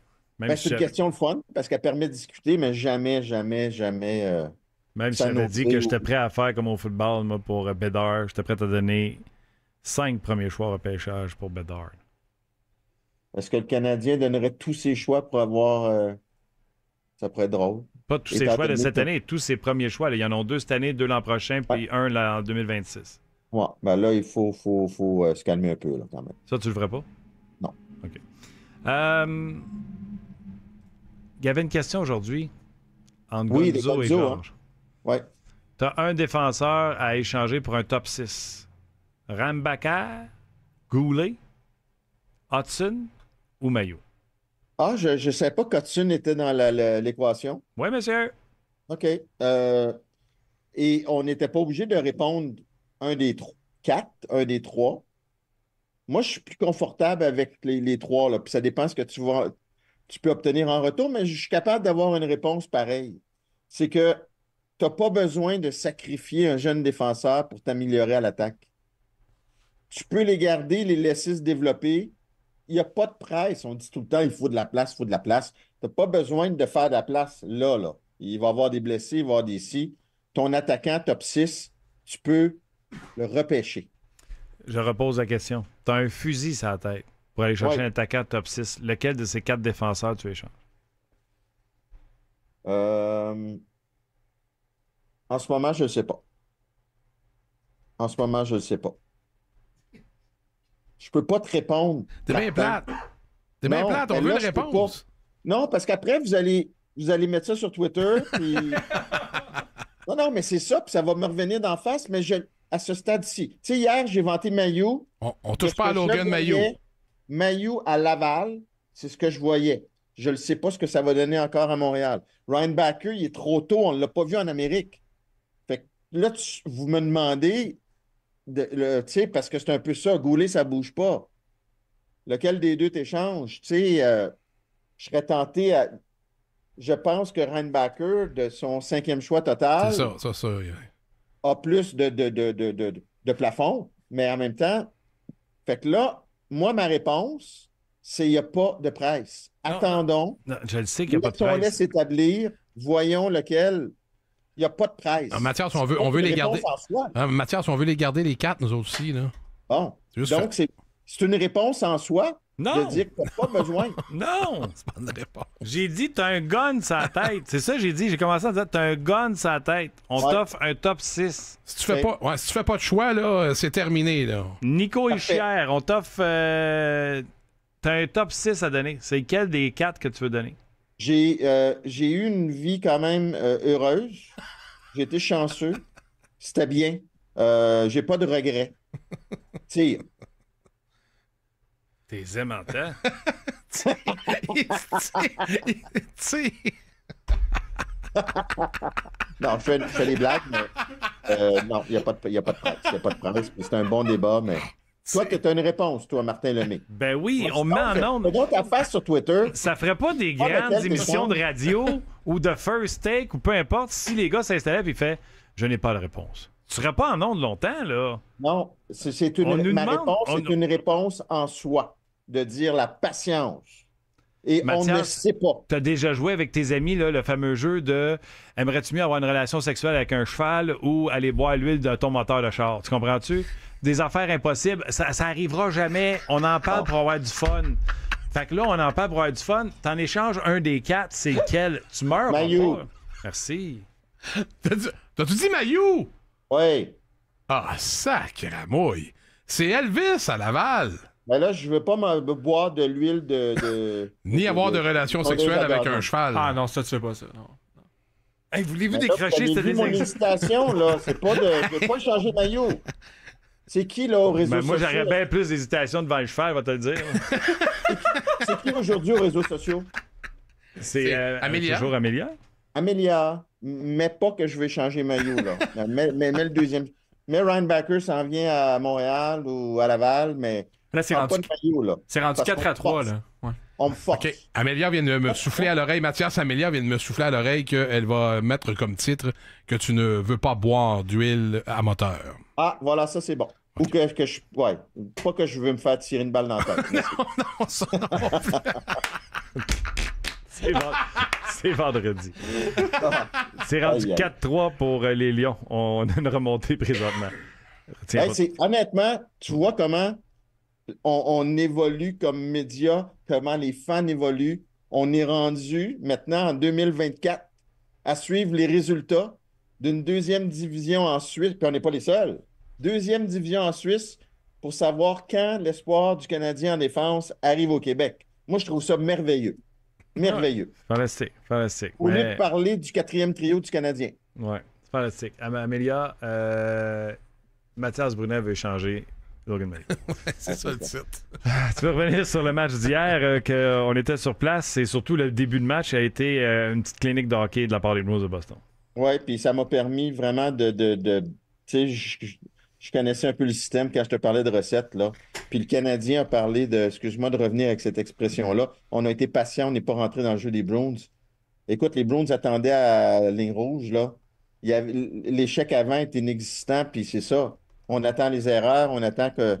Puis ça prend un. À un moment donné, Raphaël Harvey Pinard, il y a deux gars en échec avant. Au lieu de rester en arrière, il y va, boum, contre-attaque. Ça n'a pas donné de but, mais ça aurait pu en donner un. Fait qu'eux sont extrêmement patients, les Browns, sont, sont disciplinés, puis ils t'attendent. Hey, T'as-tu vu ça, à un moment donné, la rangée de trois attaquants, un en arrière de l'autre à, à ligne bleue, là, à ligne rouge, territoire central. Ah oui, non, Eux, il, là. il- il joue de la bonne façon. Leur game se joue là, puis à l'attaque, c'est pas compliqué. On la, on fait travailler les défenseurs, on met ça dans le coin, on va le chercher. On va dire, comme un gars a déjà dit, là, ils ont la recette, eux autres. Ouais, hein? Il y a un gars qui a dit ça hier, je pense. Ouais, et il n'a pas voulu se mouiller non plus hier, fait qu'il a dit non, non, ils ont la recette. 5 à 3, les Lions. Oh! 5 minutes à jouer au match. 5 Merci, minutes à jouer. Moi, j'ai hâte, j'ai vraiment hâte de voir Ryan Backer. J'ai pas tombé en bas de ma chaise euh, au camp. Il a été bien. Écoute, attends une seconde. Les gens, sa messagerie texte, lâchez le cheval, là. L'histoire du cheval, ils en sont pas revenus. Ouais. Ouais, ça, Martin, c'était. euh, tu y réfléchir? Il y a beaucoup de. Beaucoup de. Peut-être que la prochaine fois, tu pourrais, euh, oui, c'est ça, Il y, a, varier. il y a LP sur la messagerie texte qui nous informe que à la une sur BPM Sport, Mathias Brunet, Mayou, mettez-moi ça dehors. Oui, oui. Surtout avec mon intervention d'hier sur Maillot, qui, a- qui a- qui en a sûrement surpris plusieurs. Excuse-moi. On revient à Boston. Excuse-moi. Bon. Fait que c'est ça, les Nord. Le Canadien a bien, euh, a bien tenu le coup après sa défaite de 9-4. C'est encourageant. Écoute, c'est tout le temps des matchs serrés. Euh, moi, ça me faisait drôle parce que j'étais dans les estrades. Je pense que j'ai été dans les estrades du Centre Bell trois fois dans ma vie. Ah oui. Alors, c'est vrai, c'est différent. C'est le fun d'être. euh, Tu t'es-tu fait crier Hello, Mathias? Euh, non, écoute, j'ai, on était dans la section des jardins. J'ai fait ma petite, mon petit bonhomme de chemin. J'ai pas croisé. J'ai comme ça n'a pas à donner. Non, il n'y a pas eu de bain de foule comme tel. OK. Ça a été discret. C'est ça que t'as fait. Ben, j'ai pas, je me suis pas caché non plus. Là, ça me fait plaisir de parler au monde, là, mais ça n'a pas à donner. OK. Il y avait Euh, beaucoup de chandails des Blues aussi euh, autour de moi. Alors peut-être que eux, ils- eux, ils, euh, ils lisent plus le Boston Herald que, le, que la presse, puis ils écoutent les stations de, de Boston plutôt que le BPM. Oui, mais Mathias, c'est bil- bilingual, ça. Ouais, je sais. Bon. En 30 secondes, qui va rentrer dans l'Est? Oh! Hey, c'est-tu. Moi, je parlais des. De- J'ai chicané FX avec les Devils qui reviennent un peu. Buffalo. Buffalo qui revient.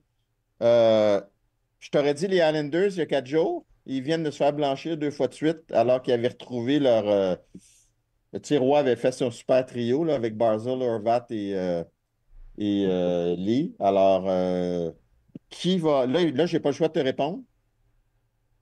N'est-ce pas? C'est pas mal tout le temps ça, les questions. hein.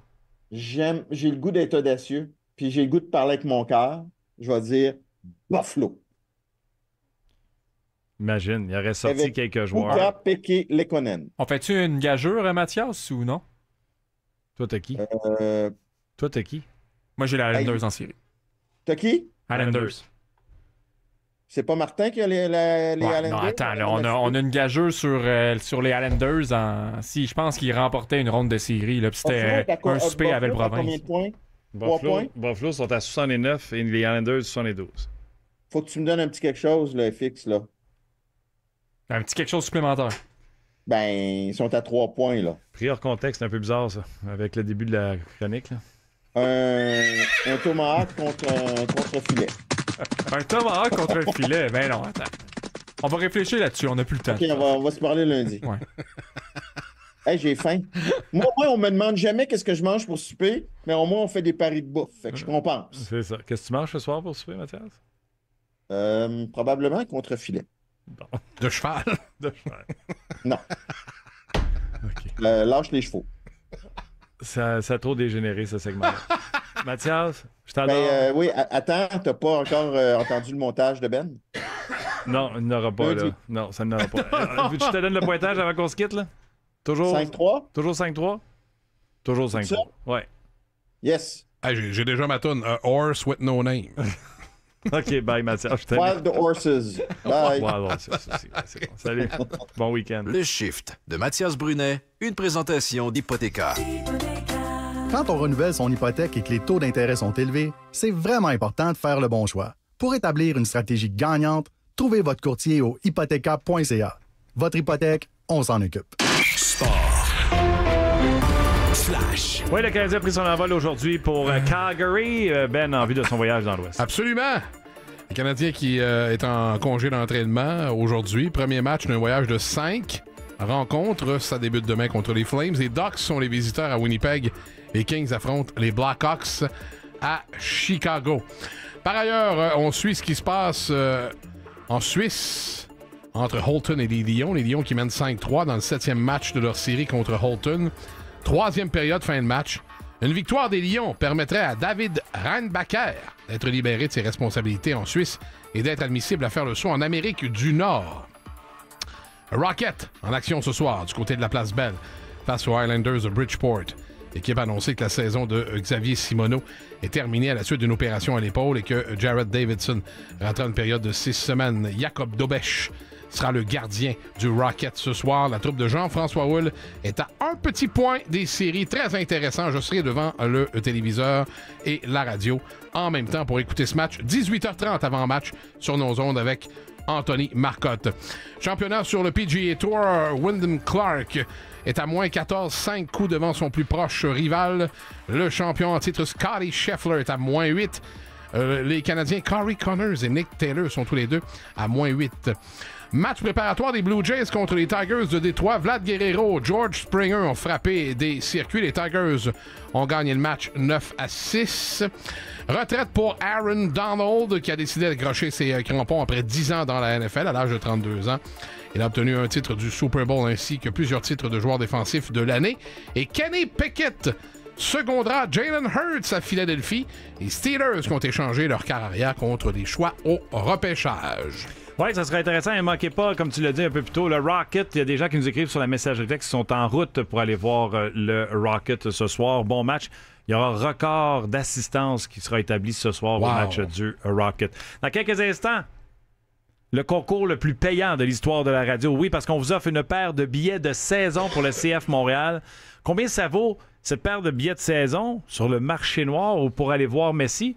Ben, combien ça vaut également pour vous d'aller voir tous les matchs du CF de Montréal, eux qui ont tout un début de saison? Bougez pas, au retour, le BPM Sport s'affronte et ce concours le plus payant, on cherche un finaliste.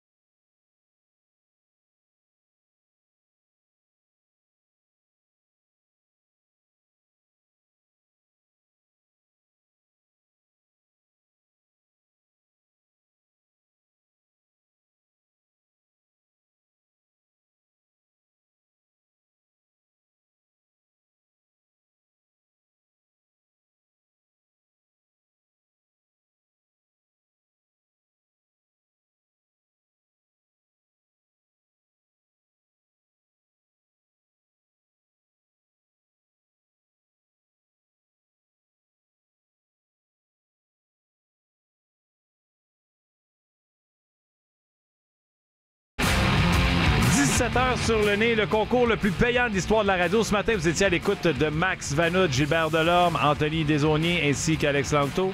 Ils vous ont donné un numéro de billet. Maintenant, je vais donner le nom du finaliste. Ce finaliste doit nous rappeler dans les 9 minutes 19 secondes suivantes.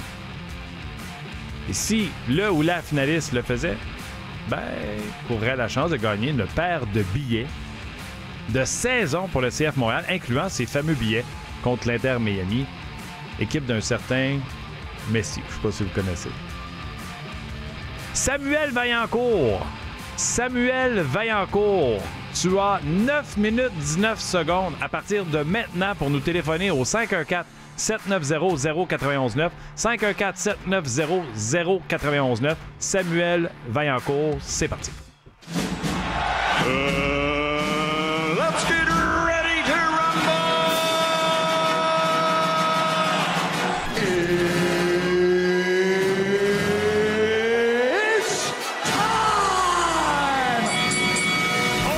plaisir parce qu'en plus, on commence de bonne heure. Le BPM Sport s'affronte avec deux machines de BPM Sport. Le premier, vous l'entendez tous les jours, pas une fois, mais deux fois. Max Vanout, salut! Mon cher Martin, comment vas-tu? Je vais très bien, Max. Merci d'être là à BPM Sport. S'affronte et pour t'affronter ce soir, cet après-midi, euh, la voix du Rocket de Laval, vous l'adorez tous, Anthony Marcotte. Salut tout le monde, comment ça va? Ça va, ça va très bien. Ça va très bien parce que, justement, comme je le disais tantôt, parce que j'étais avec vous autres, je vais juste vous dire une chose. Inquiétez-vous pas, là. Euh, ça arrive à tout le monde des mauvaises journées. Et celle-là, c'en est une mauvaise. Puis il n'y a pas de maladie en cours, il n'y aura pas rien de dramatique. Mais c'est ça, aimer sa job, puis d'être avec du monde, puis ça inclut les auditeurs. Puis je pense que les gars, vous le vivez, que ce soit en faisant la description des matchs ou en étant à la radio avec euh, le, le public, les auditeurs de BPM. Il n'y a pas d'autre place qu'on voudrait aller quand ça va pas. Fait qu'aujourd'hui, moi, c'est ici que je veux être. Anthony, on va t'écouter ce soir dans le match du Rocket. Le yes, on est bien fébrile. Oh oui. Sûr que ça va toujours mieux avec de la voix et d'écrire des matchs. là, est revenu, est en pleine forme, puis on est bien craqué. Il reste 14 matchs à faire, puis on dirait que plus ça avance, plus ça devient encore plus serré au classement, puis palpitant pour une place en série. Ça va être le fun. Mais Anthony, faut que tu fasses comme Max Vanout. Euh, Quand la voix veut euh, sacrer son camp, faut que tu y ailles avec le néo-laryngobit. Ah, ça a été fait. Ça a été fait à plusieurs reprises, mais euh, quand tu décris des matchs, disons que tu pousses l'instrument fort. Et à un moment donné, il n'y a pas de miracle. C'est vrai que Donc, pris ça. contexte, ça pousse l'instrument fort, c'est un peu bizarre. Euh, Max, un, un conseil de voix avant qu'on commence? Écoute, moi, je suis tellement chanceux, ça fait bientôt 10 ans, j'ai pas encore perdu à la voix. Fait que touche du bois. Euh, puis, euh, si un jour j'ai besoin de quelque chose, je sais que je vais pouvoir appeler Anto. Je connais pas mal tous les remèdes maintenant. Ouais. Les gars, le BPM Sport s'affronte, vous connaissez la recette, les deux, vous l'avez faite. Le but, c'est qu'on cherche le trouble. On a passé notre journée à vous envoyer des questions pour être certain que vous n'entendez pas. Et un de vous deux a tenté de contourner les règlements en nous envoyant beaucoup de... Euh... Je ne sais pas. Je suis Ben pas certain. Qui a Alors, fait ça? Il a fallu, il a fallu le rechallenger parce qu'on cherche vraiment à ce que vous soyez pas en accord. La première, euh, vous n'avez pas accepté d'embarquer dans notre jeu, mais on va la faire pareil. Parce que je trouvais le- la question le fun. Gonzo et Georges ont jasé tout l'après-midi. Si tu avais un défenseur, un jeune défenseur prometteur du Canadien, à transiger pour un top 6, est-ce que ce serait Mayou, Lane Hudson, Goulet et Rainbacker? Les deux, vous avez refusé ardemment de vous compromettre. Fait que je- normalement, j'aurais pas pris la question, mais pour le bon plaisir, parce que je trouvais que c'était une question de fun. Pourquoi vous voulez pas vous compromettre? Max? Je, je, je me compromets pas, Martin, parce que tantôt, j'ai terminé mon émission. J'ai marché vers chez moi, parce que comme vous le savez, j'habite pas loin. Belle journée de printemps, ensoleillée. Ça allait bien! Ça allait assez bien! Puis là, j'arrive chez moi, puis je me fais un vieux sandwich.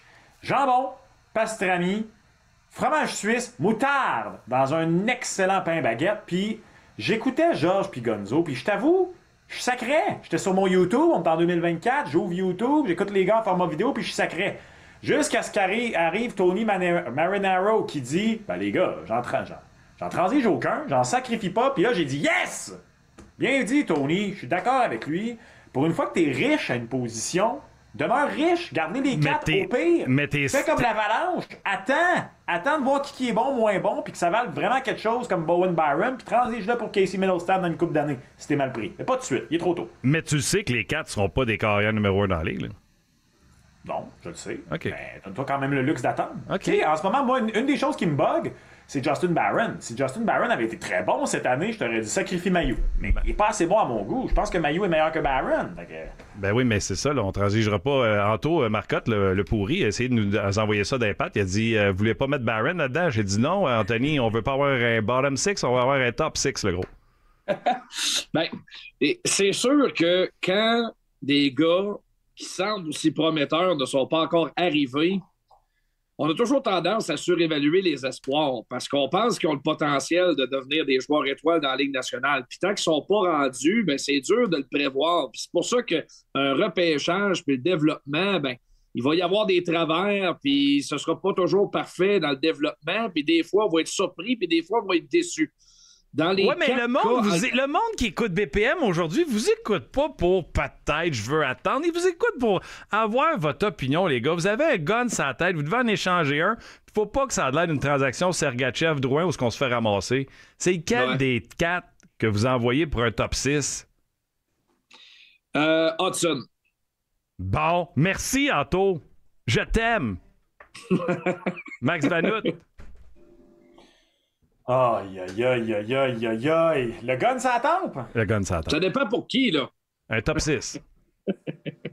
Reinbacker. Ce sera pas lui, mais ce serait lui. Oh! Ils donneront jamais Reinbacker. Jamais, je le sais. Jamais, Mais- jamais. mais la question- ça. la question, Ils vont c'était se moi. protéger tant aussi longtemps qu'il va pouvoir se protéger avec cette, avec cette sélection-là, qui pour moi est une erreur depuis le début. On aurait dû prendre un attaquant de premier plan. C'est tout. Fait qu'ils ne l'échangeront pas. Oubliez ça. Il y a trois options, il n'y en a pas quatre, il y en a trois. Hey, Martin, si tu permets en une seconde, là, si vous écoutez pas en ce moment en format YouTube, vous venez d'en te- rater Anthony Marcotte qui donne un méchant show. mais j'aime ça. Euh, Moi, j'avais Mayu. Euh, si, mettons, j'ai un fusil sur la tête. Mais j'aime ça. On est tous d'accord. Goulet part pas. Euh, Non. C'est une évidence. Tu as déjà un pilier. Ouais, un pilier, tu touches pas à ça. OK, messieurs, euh, on y va. On rentre dans le, dans le, dans le vif du sujet. BPM Sport s'affronte. 514-790-0919. 514-790-0919. Vous devez voter pour Anto, pour Anthony Marcotte. Et vous, devez voter Max pour Max Vanout. La première question, messieurs. De la façon que le Canadien joue actuellement, avec euh, toutes les transactions habituelles de Kent Hughes l'été, vous savez, euh, un choix, quelque chose pour un top 6. Euh, le jeune qui s'en vient chez le Canadien. Et si le Canadien devait gagner la loterie et repêcher Celebrini, le Canadien serait du portrait des séries l'année prochaine. Absolument pas pantoute, Max. Pas pantoute. Trop tôt. Il va être de la course aux séries, mais il sera pas des séries. Il y a encore trop d'équipes à déloger. Il y a encore trop de bonnes équipes. Le Canadien, je pense, l'an prochain, encore une fois, va être dans la meilleure division de la Ligue nationale de hockey. Les Sabres sont en train de faire un push pour les séries. Les Red Wings sont en train de s'embourber dans les du tapis, mais ça demeure une bonne formation. Les sénateurs vont finir par arriver. Il est trop tôt, personnellement, pour que je dise que n'importe quelle des formations de Lightning, Floride, Toronto, Boston, que le Canadien, même avec Celebrini, meilleur que ces formations-là. Donc, une course aux séries, oui. Être du portrait, pas pantoute. Ah ben, euh, moi, je- attends, attends moi-. J'aurais donné le numéro 514-790-0919 pour euh, Max Vanout, si vous avez aimé ce que vous avez entendu, pour voter pour Anthony. 514-790-0919 également, avec la façon que le Canadien joue actuellement, de la façon que Kent Hughes travaille l'été. Euh, si le Canadien devait gagner la loterie et repêcher Celebrini tout premier, le Canadien serait des port- du portrait des séries éliminatoires dès l'an prochain. Absolument pas pantoute, tantôt. Ben, moi, je pense qu'absolument, le Canadien va être dans le portrait euh, si tout ça s'organise. Euh, personnellement, le Canadien, avec Kirby Doc à 100% toute l'année, avec Alex Newhook à 100% toute l'année, rajoute un autre élément offensif et en plus, Celebrini, ben, à un moment donné, quand je compare les équipes qui se battent actuellement pour les séries, New York, les Islanders, les Red Wings, les Capitals, je mets les Flyers, les Sabres, Canadien, es-tu vraiment moins fort que ces équipes-là? Moi, je pense pas. Alors, moi, je pense que le Canadien peut faire partie des séries l'an prochain si tout ça euh, tombe en place. Écoutez, je vous donne encore trois secondes pour voter. Euh, 514-790-0919. Mon opinion ne vaut pas grand-chose, mais euh, j'ai discuté ce matin avec FX et j'ai dit si le Canadien devait repêcher Celebrini, ça met le Canadien si on joue au serpent échelle sur une échelle, ce gars-là, imagine, serait sur une 2 ou une 3 avec Canadien à sa première année. Elle amènerait un deuxième élément offensif sur un deuxième avantage numérique avec New Hook, parce que Dak reprendrait sa place, je présume, sur le premier avantage numérique. On voit ce que les gardiens sont capables de faire. On voit la défensive du Canadien qui commence à regorger de talent. Euh, je pense vraiment que ça accélère la, reconstruction, mais mon opinion ne vaut pas Saint-Saëns. Euh, FX, au vote sur la messagerie texte 514 qui remporte la première manche? Avantage en taux sur euh, la messagerie texte pour euh, la première question. Également, un, petit complément d'information, messieurs. On suit euh, le match présentement entre les Lions et Holton en, Suisse pour savoir qui, si David Rembacher sera de retour ici en Amérique du Nord très prochainement. Et pour ça, il faut que les Lions l'emportent et c'est 2-0 Lions en début de match. Juste un petit complément d'information à, l'émission parce qu'on pourrait le voir débarquer. Les Lions mènent 2-0, il faut que les Lions gagnent? Il faut que les Lions gagnent. On veut voir Rembacher. Très prochainement. Ouais. Malgré tout ce que vous avez dit. Oui, on veut, malgré tout ce que vous avez dit tantôt. hey les gars, euh, un sujet que je pense que vous n'êtes pas d'accord. Disputer devant des milliers et des milliers de personnes. On sait que Anthony Marcotte fait la description de la boxe sur nos ondes. Disputer devant des milliers de personnes au AT&T Stadium. Jake Paul contre Mike Tyson est un combat que je ne voudrais pas manquer. Absolument pas pantoute en taux. C'est sûr que je manquerai pas ça. C'est sûr que non. Je vais être là, c'est sûr. C'est sûr que c'est un freak show. On est tous d'accord avec ça. Mais je vous fais un comparant. Quand les gants tombent d'un match de c'est drôle, hein, mais j'en vois pas bien ben qui se lèvent, aller, aller, pisser ou s'acheter une bière. C'est le même principe pour Jay Paul contre Mike Tyson.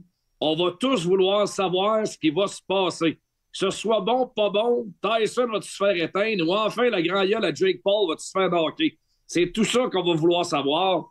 On manquera pas ça. Puis ceux qui disent Ah non, moi, ça m'intéresse pas, veut rien savoir, ils vont trouver le moyen de vouloir savoir ce qui va se passer. 514-790-0919. Il y en a beaucoup qui adoptent le mot Tony au lieu de Anto. Tony et Anto, c'est bon, la machine de calcul. Et si vous voulez voter pour Max Vanout, Max, 514-790-0919. Euh, Max, disputé devant des milliers de personnes, on va remplir le AT&T Stadium. Jake Paul contre Mike Tyson est un combat que je ne voudrais pas manquer, absolument pas partout. Euh, Martin, tu me permets de te poser une question à Ben Roger? Oui, Ben est là. Euh, ben, question pour toi. oui. Euh, le 20 juillet, la journée où vont s'affronter Mike Tyson et, et Jake Paul, c'est un samedi. S'il annonce beau, on va jouer au golf? Absolument. Pas parfait. Absolument, puis on soupe ensemble, puis on étire la veillée, puis on regarde pas la TV, ça c'est sûr. C'est ce qu'on va parce que le combat va envoyer à minuit, tu verras pas à balle, ben, ben, Max. Hey, euh, au euh, Golf UFO à Laval, j'ai découvert ça cet hiver. Ils ont du golf de nuit. Je te garantis, je m'en vais essayer ça cet été. Et on va y aller le 20 juillet. Sais-tu qu'est-ce qu'on va faire, euh, mon, mon, Ben? Bienvenue en ville. De, Aux alentours d'une heure du matin, là, on va ouvrir notre cellulaire puis on va regarder les 30 secondes que le combat auront duré sur Facebook, toi puis moi. Je vais avec toi. Ah, yes, sir, man. là, euh, Max Vanout, il était temps que tu arrives en ville. J'avais 18 ans. Quand j'avais fini d'un bar, j'allais jouer un 9 au UFO. Là. Ah, mais moi, Martin, je suis né à Sept-Îles, buddy. Je te garantis que le golf UFO, j'ai découvert ça cet hiver. Juste te rappeler que j'ai commencé ma phrase en disant bienvenue en ville. C'est ce que j'ai dit. euh, euh, OK. 514-790-0919. Il vous reste une dizaine de secondes pour voter, soit pour Tony, Anto ou Max Vanout. Visiblement, Max Vanout ne regardera pas 5 minutes, mais je suis convaincu, le connaissant, qu'il va aller revoir les séquences sur YouTube. Bon, c'est ça. Ah, ah, mon petit torpinouche? Il dit je l'écouterai pas en direct, moi je jouer au UFO, mais euh, plus tard sur le YouTube channel. Il va le regarder. Ou vous pouvez voter pour Tony Anthony sur euh, également la messagerie texte FX qui a gagné. Anthony pour euh, la question numéro 2. Oh! Chanceux, Max, il en reste deux. Tu prêt? Les gens sont curieux. Ah, je le sais. Euh, les gars, la Ligue nationale de hockey devrait changer son format des séries éliminatoires. J'ai réalisé hier que j'étais un des seuls qui l'aimait. Absolument pas pantoute, euh, Max? Ben, moi, Martin, jusqu'à il y a deux semaines, j'étais de ton bord. J'ai toujours. J'ai jamais rien eu contre le nouveau format. Mon seul problème avec le format a toujours été que moi, si tu fais des séries à l'intérieur de la division, je veux plus de matchs intra-division dans l'année. Rends ça réellement une guerre intra-division. C'est un peu comme ça à balle. Euh, mais là, cette année, euh, j'ai trop de misère avec l'idée peut-être de l'avalanche du Colorado puis des Stars qui s'affronteront au premier tour. Pour moi, c'est encore pire que Lightning contre Maple Leafs des dernières années. Euh, en ce moment, ces deux équipes-là, dans l'ancien format, s'il y avait à s'affronter, ce serait probablement en finale de conférence. C'est là, faut que ça arrive. Euh, donc, pour moi, si tu gardes le format, il faut au moins que tu changes le format de la saison régulière pour vraiment donner de la valeur à ça. Créer des. Ramène les rivalités intra-division. C'est quand la dernière fois qu'on a vu les Maple Leafs? Hier, j'étais là au Centre Bell pour la game contre les Bruins, puis même si c'était pas le match de l'année, en fin de match, l'animosité pogne tout le temps. Donc, pour moi, il faut changer quelque chose, il faut changer ce format-là. Et pourtant, c'est bizarre ce que tu dis, Max, parce que le format actuel, c'est justement pour qu'il y ait les rivalités. Ouais, mais ce que je dis, c'est c'est- ce que je dis, c'est qu'on les, euh, on, les ramène en série, mais le calendrier de saison régulière ne justifie pas ce format éliminatoire-là. On ramène ça en série, que c'est intra-division, puis tu justifies que ces équipes-là se pognent parce qu'ils sont dans la même division, mais ils s'affrontent presque pas de l'année, ou du moins à mon goût, ils s'affrontent pas assez souvent à mon goût dans l'année. 514-790-0919, Max ou Maxou. J'ai vu des Maxou passer sur la messagerie texte. ou Anto ou Tony pour Anthony Marcotte. Les... La Ligue nationale de hockey devrait changer son format des séries éliminatoires. Absolument pas pantoute, Anthony. Ben, à un moment donné, forcément, je pense qu'on on n'aura pas le choix si on continue de grossir les cadres à 34, 36 équipes. Peut-être qu'on va tenter d'essayer d'entrer plus d'équipes dans le portrait. En même temps, moi, actuellement, et, je veux dire, je pense que 8, méritants par association, c'est suffisant. Je comprends que c'est pas parfait comme situation. Oui, on veut créer des rivalités naturelles à l'intérieur des divisions, des sections pendant les séries éliminatoires, mais là où je rejoins Max, c'est que on va à double sens un petit peu, avec aussi peu de matchs contre ces rivaux-là, alors qu'en série, on a plus de chances de s'affronter.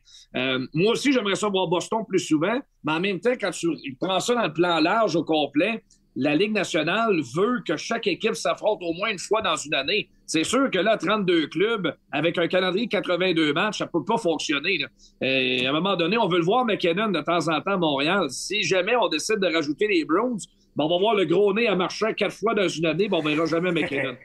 Mais moi, je pense que c'est, euh, exemple pour le Canadien, c'est la métro. On n'a pas d'affaire à jouer plus que deux matchs contre la métro. Euh, jouons contre toutes les Ouais. divisions, un aller-retour, puis après ça, tous les autres matchs seront contre ta division. Moi, je pense que c'est comme ça qu'on devrait le faire. Euh, je vous donne un complément d'information. J'ai croisé Martin Leclerc hier qui écoutait le débat sur nos ondes. Sur, euh, puis je vous donne du temps en vous donnant ce complément d'information-là. Du temps pour voter. 514-790-0919. Bien sûr, les télévisions sont les boss là-dedans. Canadien Docs en première ronde. Il n'y a aucun réseau de télé qui veut ça. Passer des matchs à 22h à RDS, Canadien Docs. Et vice-versa, pareil, vous allez comprendre. Donc, euh, ça arrivera jamais ceux qui souhaitent, mettons, un 1-16, euh, 2, euh, 2-15, etc. 514-790-0919. On va au vote FX. Comme dirait un auditeur sur la messagerie texte, la troisième question va au dossier de Maxi Chou. Alors voilà, Maxi Chou. Ouais, ma- Ah que je Anthony, faites-en pas. Euh, Hier aussi, j'étais pas mal tout seul dans ma gang. Euh, la dernière, les gars. Le récent, les récents déboires des Red Wings de Détroit démontrent qu'ils seront exclus des séries éliminatoires. Absolument pas pantoute tantôt. Ben, moi, je pense qu'il va manquer des séries. Euh, cette équipe-là euh, vient de tomber à plat. Une défaite contre les pauvres Coyotes, en plus, n'aideront pas leur cause. Et en fin de semaine, ils affrontent les surprenants sorts de Buffalo qui sont en feu. Alors, euh, s'ils échappent le match en fin de semaine contre Buffalo, c'est final bâton. Les Red Wings vont rater des séries. Envers et contre tous, ils semblaient pourtant, il y a à peine deux semaines, installés dans le portrait. Faut que ça se replace au plus sacré. Puis d'après moi, ça ne se replacera pas. Il y a des équipes qui jouent trop bien présentement pour l'échapper. Je pense aux Flyers, aux Islanders et aux Sabres. Euh, je suis surpris, Max, parce qu'entre gardien de but, on devrait se comprendre. Les récents déboires des Red Wings démontrent qu'ils seront exclus des séries absolument pas pantoute. Ben, pas pantoute. Il est ben trop tôt. Ils sont encore à 72 points, égalité avec les Highlanders, dernière fois que j'ai vérifié. Juste avant ça, ils étaient sur une séquence de 6 victoires, donc on le sait qu'ils sont capables de repartir la machine. Euh, donc, il est trop tôt. Il est trop tôt pour que j'affirme que les déboires sont trop gros. Moi, en plus, euh, la, défaite face aux Coyotes est venue m'ébranler hier, mais moi, quand j'avais vu Ben Sherrod puis Lucas Raymond se coltailler à l'entraînement, je trouvais que c'était un signe positif. Puis je trouvais que c'était encore plus positif quand j'ai vu le bon Ben Sherrod hier faire quoi? Venir à la défense de Lucas Raymond puis s'en aller au banc des punitions ensemble. Euh, on se reparle la semaine prochaine. Cette semaine, pour moi, il est trop tôt. Ils sont encore à égalité. Puis je pense qu'ils vont les battre, les Sabres de Buffalo. Même si, honnêtement, je peux pas croire que je dis ça, mais Uko Pekka Lukonen commence à être sérieusement impressionnant.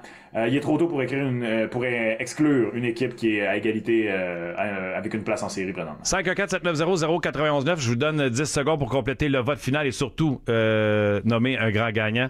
Uko Pekka Lekonen, euh, Max est rendu le quatrième meilleur au niveau de la moyenne de points mérités. Il est sur une lancée irrésistible. Puis 7 à 2, la dernière victoire des Sabres contre les Red Wings. Ils les ont plantés assez serrés, merci. Et un gardien de but comme toi, je peux pas croire que tu ne vois pas que Alex Lyon, qui était un bon petit pneu de secours, est rendu à la fesse, ne peut pas gagner un match parce qu'il est Alex Lyon et que James Reimer a été une erreur des Red Wings depuis le jour 1. Et visiblement, leur gardien but numéro 1, qui est blessé, fait très mal. Fait de la peine, Max. C'est-tu ce que j'aime de Pekka, Uko Pekka Lukonen, Martin? Son nom? Son gear? Je pense que là-dessus, je pe- je pense que là-dessus, au moins, on va se rejoindre. Moi, il y a une chose qui me fait de la peine là, dans le hockey d'aujourd'hui. Il n'y a plus assez de gardiens qui portent le numéro 1. Il y a Swayman, il y a Lukonen, puis c'est à peu près ça. Ça, j'aime ça. Un beau numéro classique. Hey, je peux-tu me permettre un petit commentaire sur Lukonen que j'ai bien vu dans la Ligue américaine, pas mal à Rochester? Si vous aviez à me demander lequel entre Uko Pekka Lukonen et Caden Primo allait faire un gardien de la Ligue nationale de hockey, je vous répondrais facilement Caden Primo. Alors tout ça pour dire que faut être patient avec les gardiens de but. Caden Primo va s'établir dans la Ligue nationale. Je sais que je répète souvent ça, puis Ben n'est pas d'accord. Mais avec des performances comme celle de mardi, mon Ben, d'après moi, va encore falloir que tu donnes raison à ton chum Tony. Ah, il est en train de le travailler au corps, le Ben, là. Ouais, tranquillement, pas vite, là, je revois ma position, mon Tony. Inquiète-toi pas. Fait que Ben, on sera deux à se faire. euh, Il y a juste les fous qui changent pas d'idée dans la vie. Exactement. Oui, oui, je sais bien. Puis s'il y en a un qui est pas fou, c'est Ben Roger. Messagerie texte FX, votre finale. On a une égalité, malheureusement. C'est euh, ben, malheureusement parce qu'on pourra pas déterminer de gagnant, à moins qu'on trouve une autre question, mais c'est Max sur la messagerie texte, c'est 2-2 présentement. My God. Qu'est-ce qu'on va faire? Ah, On ferait rien. On va, nous autres, on veut des Ça va en tir de barrage, Tony puis moi. Ouais, on est comme, on- je pense, normalement, on envoie 12, 13 questions. Aïe, On, aïe. on vous en a envoyé 22 aujourd'hui. Fait que, euh, je vous l'annonce, ça finit à match nul. Si vous aviez été un peu plus, euh, moins de peut-être tantôt, tu sais, veut dire? Ouais. Ouais. Mais des fois, là, ces questions-là, il y a toujours des petites nuances. Je suis un gars de nuances. Je, je travaille autour de ça. Ah, Tony Marcotte, un gars de nuance. J'aurais tout entendu, Colin. Euh, ne soyons pas nuancés. Donnons les deux prochains rendez-vous du Rocket sur nos ondes, Anto. Ce soir, 18h30, les Islanders de Bridgeport euh, à Laval. Et puis dimanche, à ne pas manquer. Là, je sais qu'il y aura plusieurs matchs sans lendemain ou presque, là, des matchs de 4 points très importants. Mais dimanche contre Toronto, l'équipe que le Rocket tente de dépasser présentement au classement, c'est vraiment, vraiment important d'aller gagner ça dimanche après-midi, 15h30. Et ce soir, on va dépasser le record d'assistance à la place Belle. On est des, euh, le record est à 275 000. On est déjà à 272. On aura une sidecombe ce soir, donc on va buster le record d'assistance. Bravo aux partisans du Rocket de Laval. Bravo à Anthony Marcotte, le BPM Sport également pour diffuser les matchs et euh, aider euh, ce produit à, être aimé et adoré par les partisans. Les gars, vous avez été excellents. Mais je pense que c'est un tout. J'en fais peut-être partie, mais tout l'ensemble de l'œuvre du Rocket, il y a bien du monde qui font de l'excellent travail autour de l'équipe présentement. Oh, oui, le marketing, etc. On les Ah salue. ouais. Ils font une grosse job. Merci, les gars. Prends un bon week-end. Salut. Merci d'avoir été là. Puis on Bon se reparle bientôt. Yes. Bon week-end, messieurs. Bye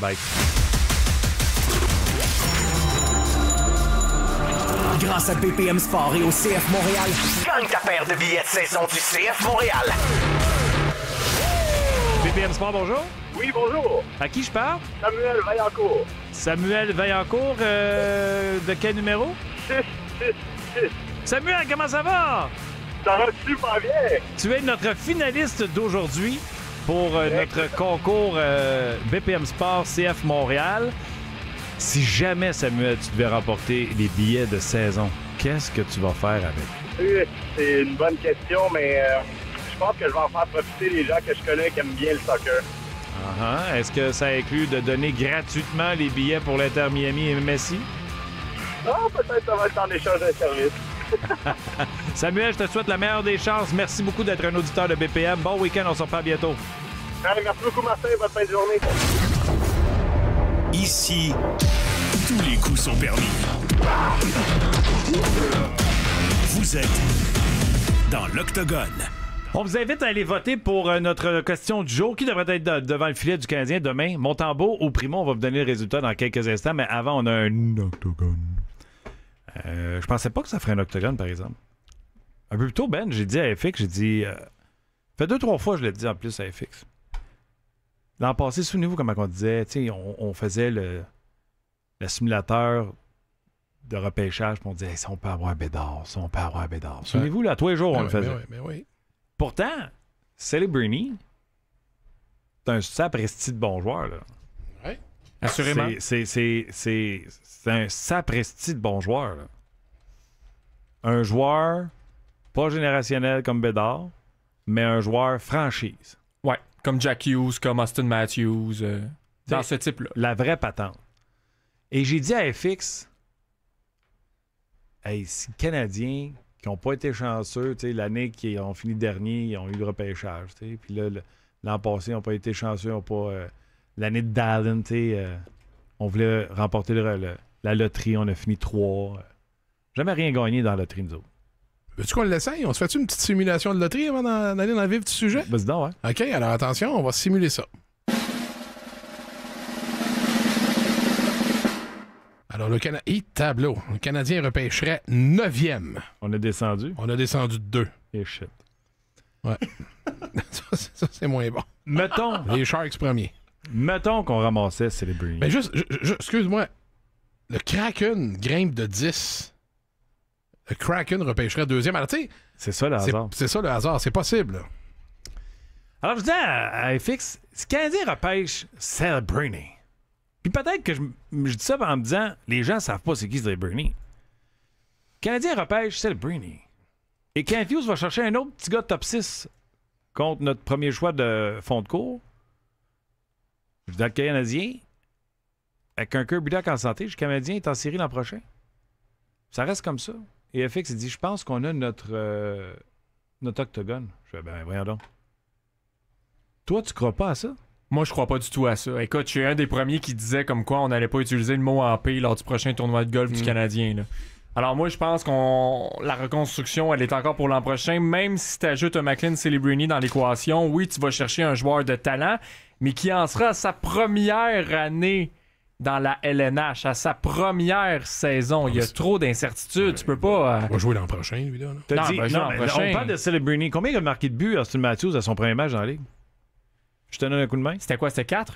3? 4. 4. Contre Ottawa. Ouais. Ben, tu sais, j'étais là-bas. Il a fini avec 67 points en 82 matchs, euh, Austin Matthews, à sa première saison. Pas pire. hein? Mais il y a, d'autres joueurs comme Jack Hughes qui a fini avec 21 points, je pense, ou 31 points à Ouais, mais nous autres, on n'aura pas besoin de jouer sa première ligne. On en a une première ligne. On va pouvoir, il va pouvoir. Swing ça, ça a deux. Ça a deux. Ça... Non, mais attendez, là. Mais Attends. pas juste ça, là. Hey, Pas juste ça. Je veux dire, on est quand même une équipe qui est en progression. Les gardiens de but, on sait ce qu'on va avoir l'an prochain. on sait ce qu'on va avoir, Ouais, mais ouais, est-ce qu'on ouais, peut. Est-ce qu'on s'entend pour dire qu'on a un gardien de but A1 devant le filet l'an prochain, là? Un A, là. on est correct. Je suis à l'aise avec euh, Sam puis avec, euh, avec notre ami. euh, voyons, Notre Non, mais je suis, Gordon, je suis à l'aise que ce soit ces deux gardiens de but-là devant le filet l'an prochain, mais on n'est pas encore à un moment où le gardien va faire euh, Non, non. une énorme différence nécessairement. On n'a pas un des, Je vais même un aller des plus tops loin. de la Ligue nationale de hockey. Au repêchage, Kent Hughes va faire un flic, flic, flic, puis essayer d'aller trouver un New Hook, un Kirby Doc. OK? Et déjà, là, ils vont savoir où ils repêchent. S'ils savaient qu'ils repêchaient numéro un, là, ils font son flic, flic pour son deuxième premier choix. Ça sera pas la même année aux joueurs autonomes, là. Tu te ramasses avec Celebrity, là. Le Canadien fait pas le même travail. Tu comprends-tu? On va s'assurer qu'il y ait une profondeur que tu n'aurais peut-être pas si tu t'en vas en année de reconstruction. Ce que je te dis, c'est que si jamais tu gagnes à la loterie puis que tu as Celebrity, tu viens d'accélérer d'un an minimum ta reconstruction. Le Canadien est en série l'an prochain. Non, non. Le, le Canadien sera pas en série l'an prochain. Puis tu vas, tu vas vouloir donner la chance à certains jeunes d'évoluer au sein de ton organisation. Euh, ça va être encore une trop jeune équipe où il y a une culture qui est en train de s'installer depuis les deux dernières années, depuis l'arrivée aussi de Martin Saint-Louis. Mais pour moi, t'es pas encore dans le portrait des séries éliminatoires. Ça va prendre une saison de plus avec Celebrini à l'intérieur de ta formation pour là participer aux séries éliminatoires. On a vanté les Devils tellement longtemps avant le début de la saison en se disant bon, cette équipe-là a été fantastique la saison précédente. Par la suite, vu, il y, a- il y a eu, on a inséré quelques jeunes dans l'équation, il y a eu certaines blessures au sein de l'alignement. Devant le filet, ça a été désastreux, mais ça avait été très bon l'année d'avant avec Vanetchek. Cette équipe-là, finalement, fera probablement pas les séries cette année. Il y a, il y a trop d'incertitudes pour dire que le Canadien va faire les séries, même avec Celebruni dans son alignement. J'ai même posé la question aux gars dans le BPM s'affronte. Ouais. Avec la fin de saison du Canadien, de la façon que Kent Hughes travaille depuis deux étés, c'est-à-dire aller échanger son deuxième premier choix pour un joueur, jeune joueur de la Ligue nationale de hockey, et la chance de repêcher tout premier Celebrini, moi je dis que le Canadien est en série l'an prochain. Non. Euh, ben, visiblement, c'est toi qui vas devoir trancher et nos auditeurs. Moi, j'ai- sans Celebrini, je vous, je vous le dis depuis longtemps, là, on a- j'ai la même toune, un peu comme FX. FX maintient euh, le même discours. Moi, je vous le dis, on va se battre bec et ongle, même sans Celebrini l'an prochain. là. Puis on, on va arriver peut-être à court, mais de très peu pour les séries l'an prochain. Mais là, Alors, avec Ouais. on est dans le portrait. On fait les séries. Attends une seconde. Je suis convaincu. Attends une seconde. Ah, Convaincu. Parce que là, on va, on, va, on va avoir un top 6 de la mort. Attends une seconde. Qu'est-ce qui se passe là? J'appelle un ami. T'appelles un ami? Ouais. Fais ça, c'est ton sel. C'est comme euh, l'émission de télévision pour, euh, pour aider. Là, on va appeler quelqu'un, là, il va donner la bonne réponse. Taxi payant. J'appelle Ouais. un ami. Yes. Hey Mathias, t'es en onde? Oh! Oh, dis pas de niaiserie. Mathias, le Canadien Kent Hughes repêche tout premier Celebrini et le Canadien Kent Hughes réussit à faire une petite transaction de fin de première ronde pour un autre joueur à la back, New Hook. Le Canadien est en série. Toi qui es le plus prudent des prudents, es-tu d'accord avec ça? Ah, absolument. Absolument. Ce sera Ah oui, tout. C'est les Bruni, mais oui, il il y aura un impact pas loin de Bédard. T'ajoutes un autre joueur. Hey, ouais, on parle sûr. pas d'un joueur générationnel. Là. Euh, Attends, je là. m'excuse, tu n'as pas, ta- tu n'as pas le droit de parole. Merci, Mathias. Mathias, Non, mais c'est c'est un joueur un peu en bas de Bédard, mais quand même, très gros impact. on, on t'aime, m'excuse de t'avoir dérangé dans ton week-end. Il n'y a pas de problème, Barry. Salut, bonhomme. Euh, J'ai appelé Jeannot Prudence de la reconstruction. là. Monsieur, j'évite tous les détours, tous les raccourcis. Mathias Brunet. Puis il dit qu'on est en série. Veux-tu j'appelle Simon Boisvert, moi, de mon côté, savoir si on se rend. Son... Ben, malheureusement, pas le temps. Par Ah, contre, il faut faire vois. un 3 de 5. Ouais, il faut, faut, faut que ça déboule en Colin de Ben. 514-790-0989. 514-790-0989. Êtes-vous équipe Lemay ou équipe Bénard? Alias FX Bénard, euh, si le Canadien réussit à aller chercher Celebrini et un choix du genre euh, Dak ou New Hook contre son deuxième premier choix. Pensez-vous que le Canadien raccourcit sa reconstruction? 514-790-0989. On va au téléphone. À qui on parle? Salut, c'est Mike. Je suis d'accord avec toi, Martin, puis d'accord avec Ben. Sam Lalleur. On est série. Merci, Mike. Bon Merci, week-end. Mike. Bon week-end. BPM Sport, allô? Allô, à qui on parle? Yes! Ah, Mathieu, Allô, Mathieu. De quel côté t'es? sur ton bord. Oh, je sais pas pourquoi, mais je t'aime encore plus. Les partisans sont tellement optimistes. 2-0. Bon Merci, week-end. Matt. Bon week-end. Ciao. Ciao. Bye. BPM Sport, allô, à qui on parle? À H, et je suis équipe FX Bénard. Oh! Merci. 2 à 1. Merci, On t'a- H. On t'aime pareil. Merci, H. Alors, c'est 2 à 1. BPM Sport, allô, à qui on parle? Antoine, Antoine P. là, ils font pas les séries. Ils font pas? Non, ils font pas vraiment avec sur les Bruni, ils font pas. OK. C'est bon, Antoine, merci. C'est 2 à 2. Ça m'a toujours impressionné le monde qui nous appelle la fenêtre baissée. BPM Sport, allô? Allô? Salut, ça va bien? C'est 2 à 2. C'est toi qui tranches. Ah, c'est sûr qu'il faut une série. Ben voilà! Yeah! Bon week-end. Bon week-end! Merci. Ciao! Bon, voilà qui est fait. Merci. Ah, c'était serré. Hey, juste avant qu'on aille à la pause, on peut-tu regarder notre sondage du jour BPM? On en est rendu où, FX? Ouais, rapidement, on demandait aux auditeurs euh, qui devrait être le gardien partant du Canadien demain contre les Flames? Samuel Montembeau à 51% contre 49% pour Caden Primo. Ah, c'était quand même serré. Un 50-50, mon Ben. Euh, c'est le temps de s'arrêter? Et on revient?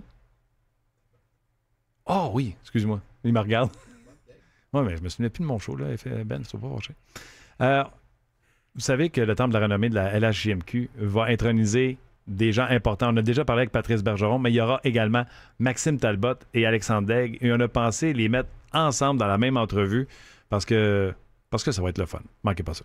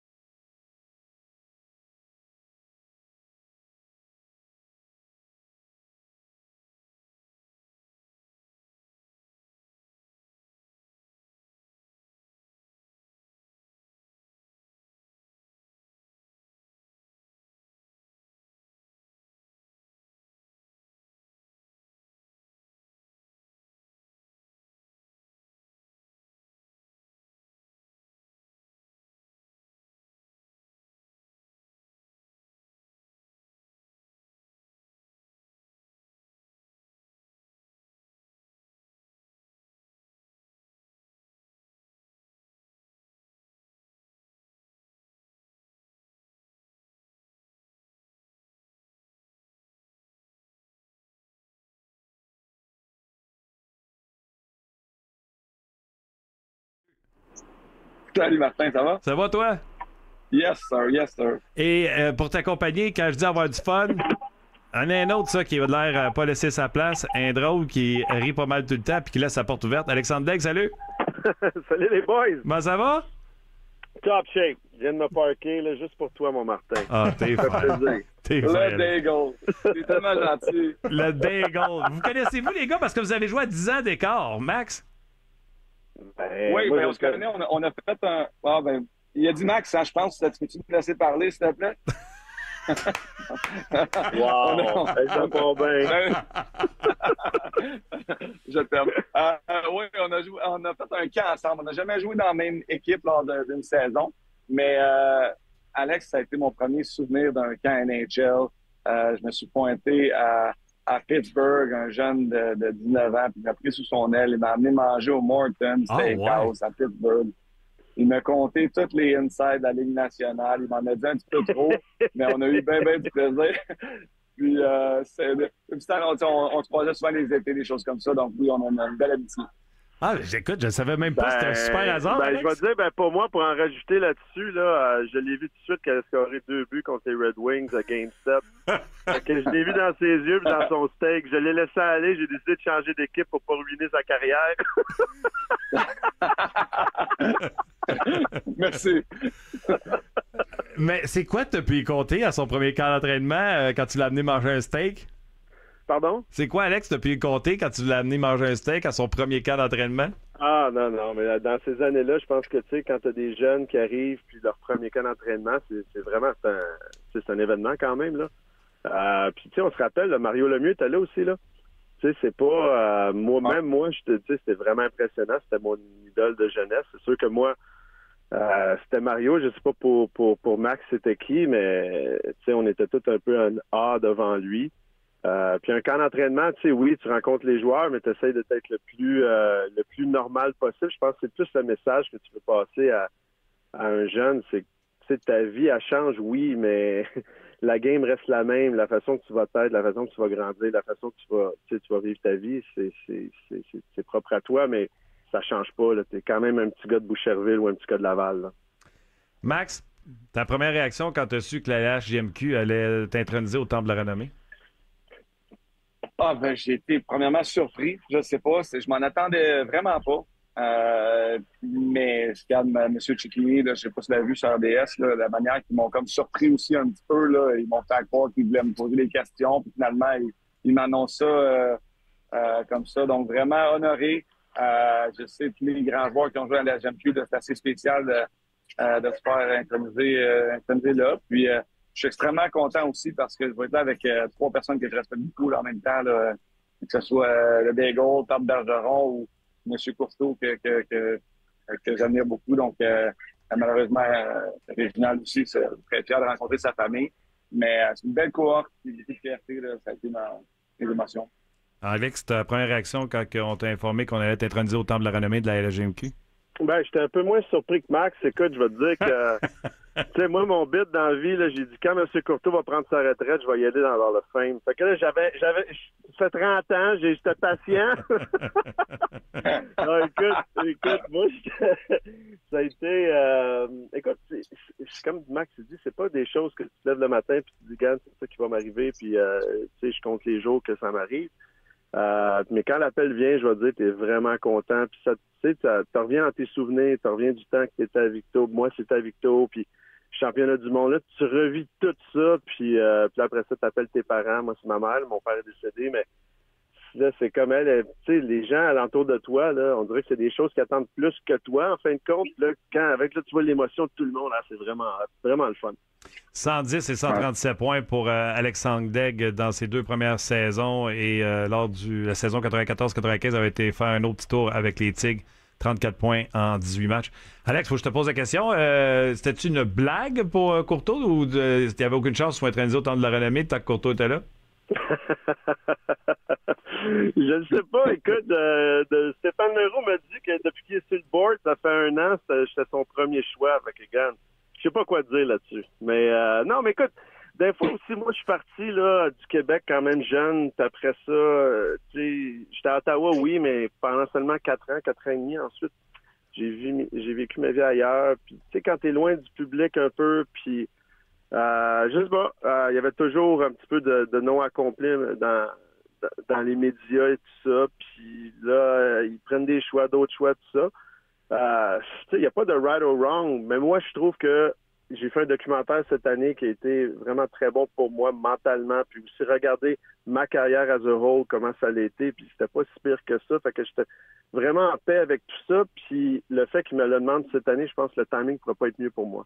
Tant mieux. Puis euh, on t'avait accueilli pour euh, le lancement de ce documentaire-là. On s'est pas reparlé depuis. Je l'ai regardé. J'ai euh, j'ai adoré. Pourtant, c'est une histoire que je connaissais.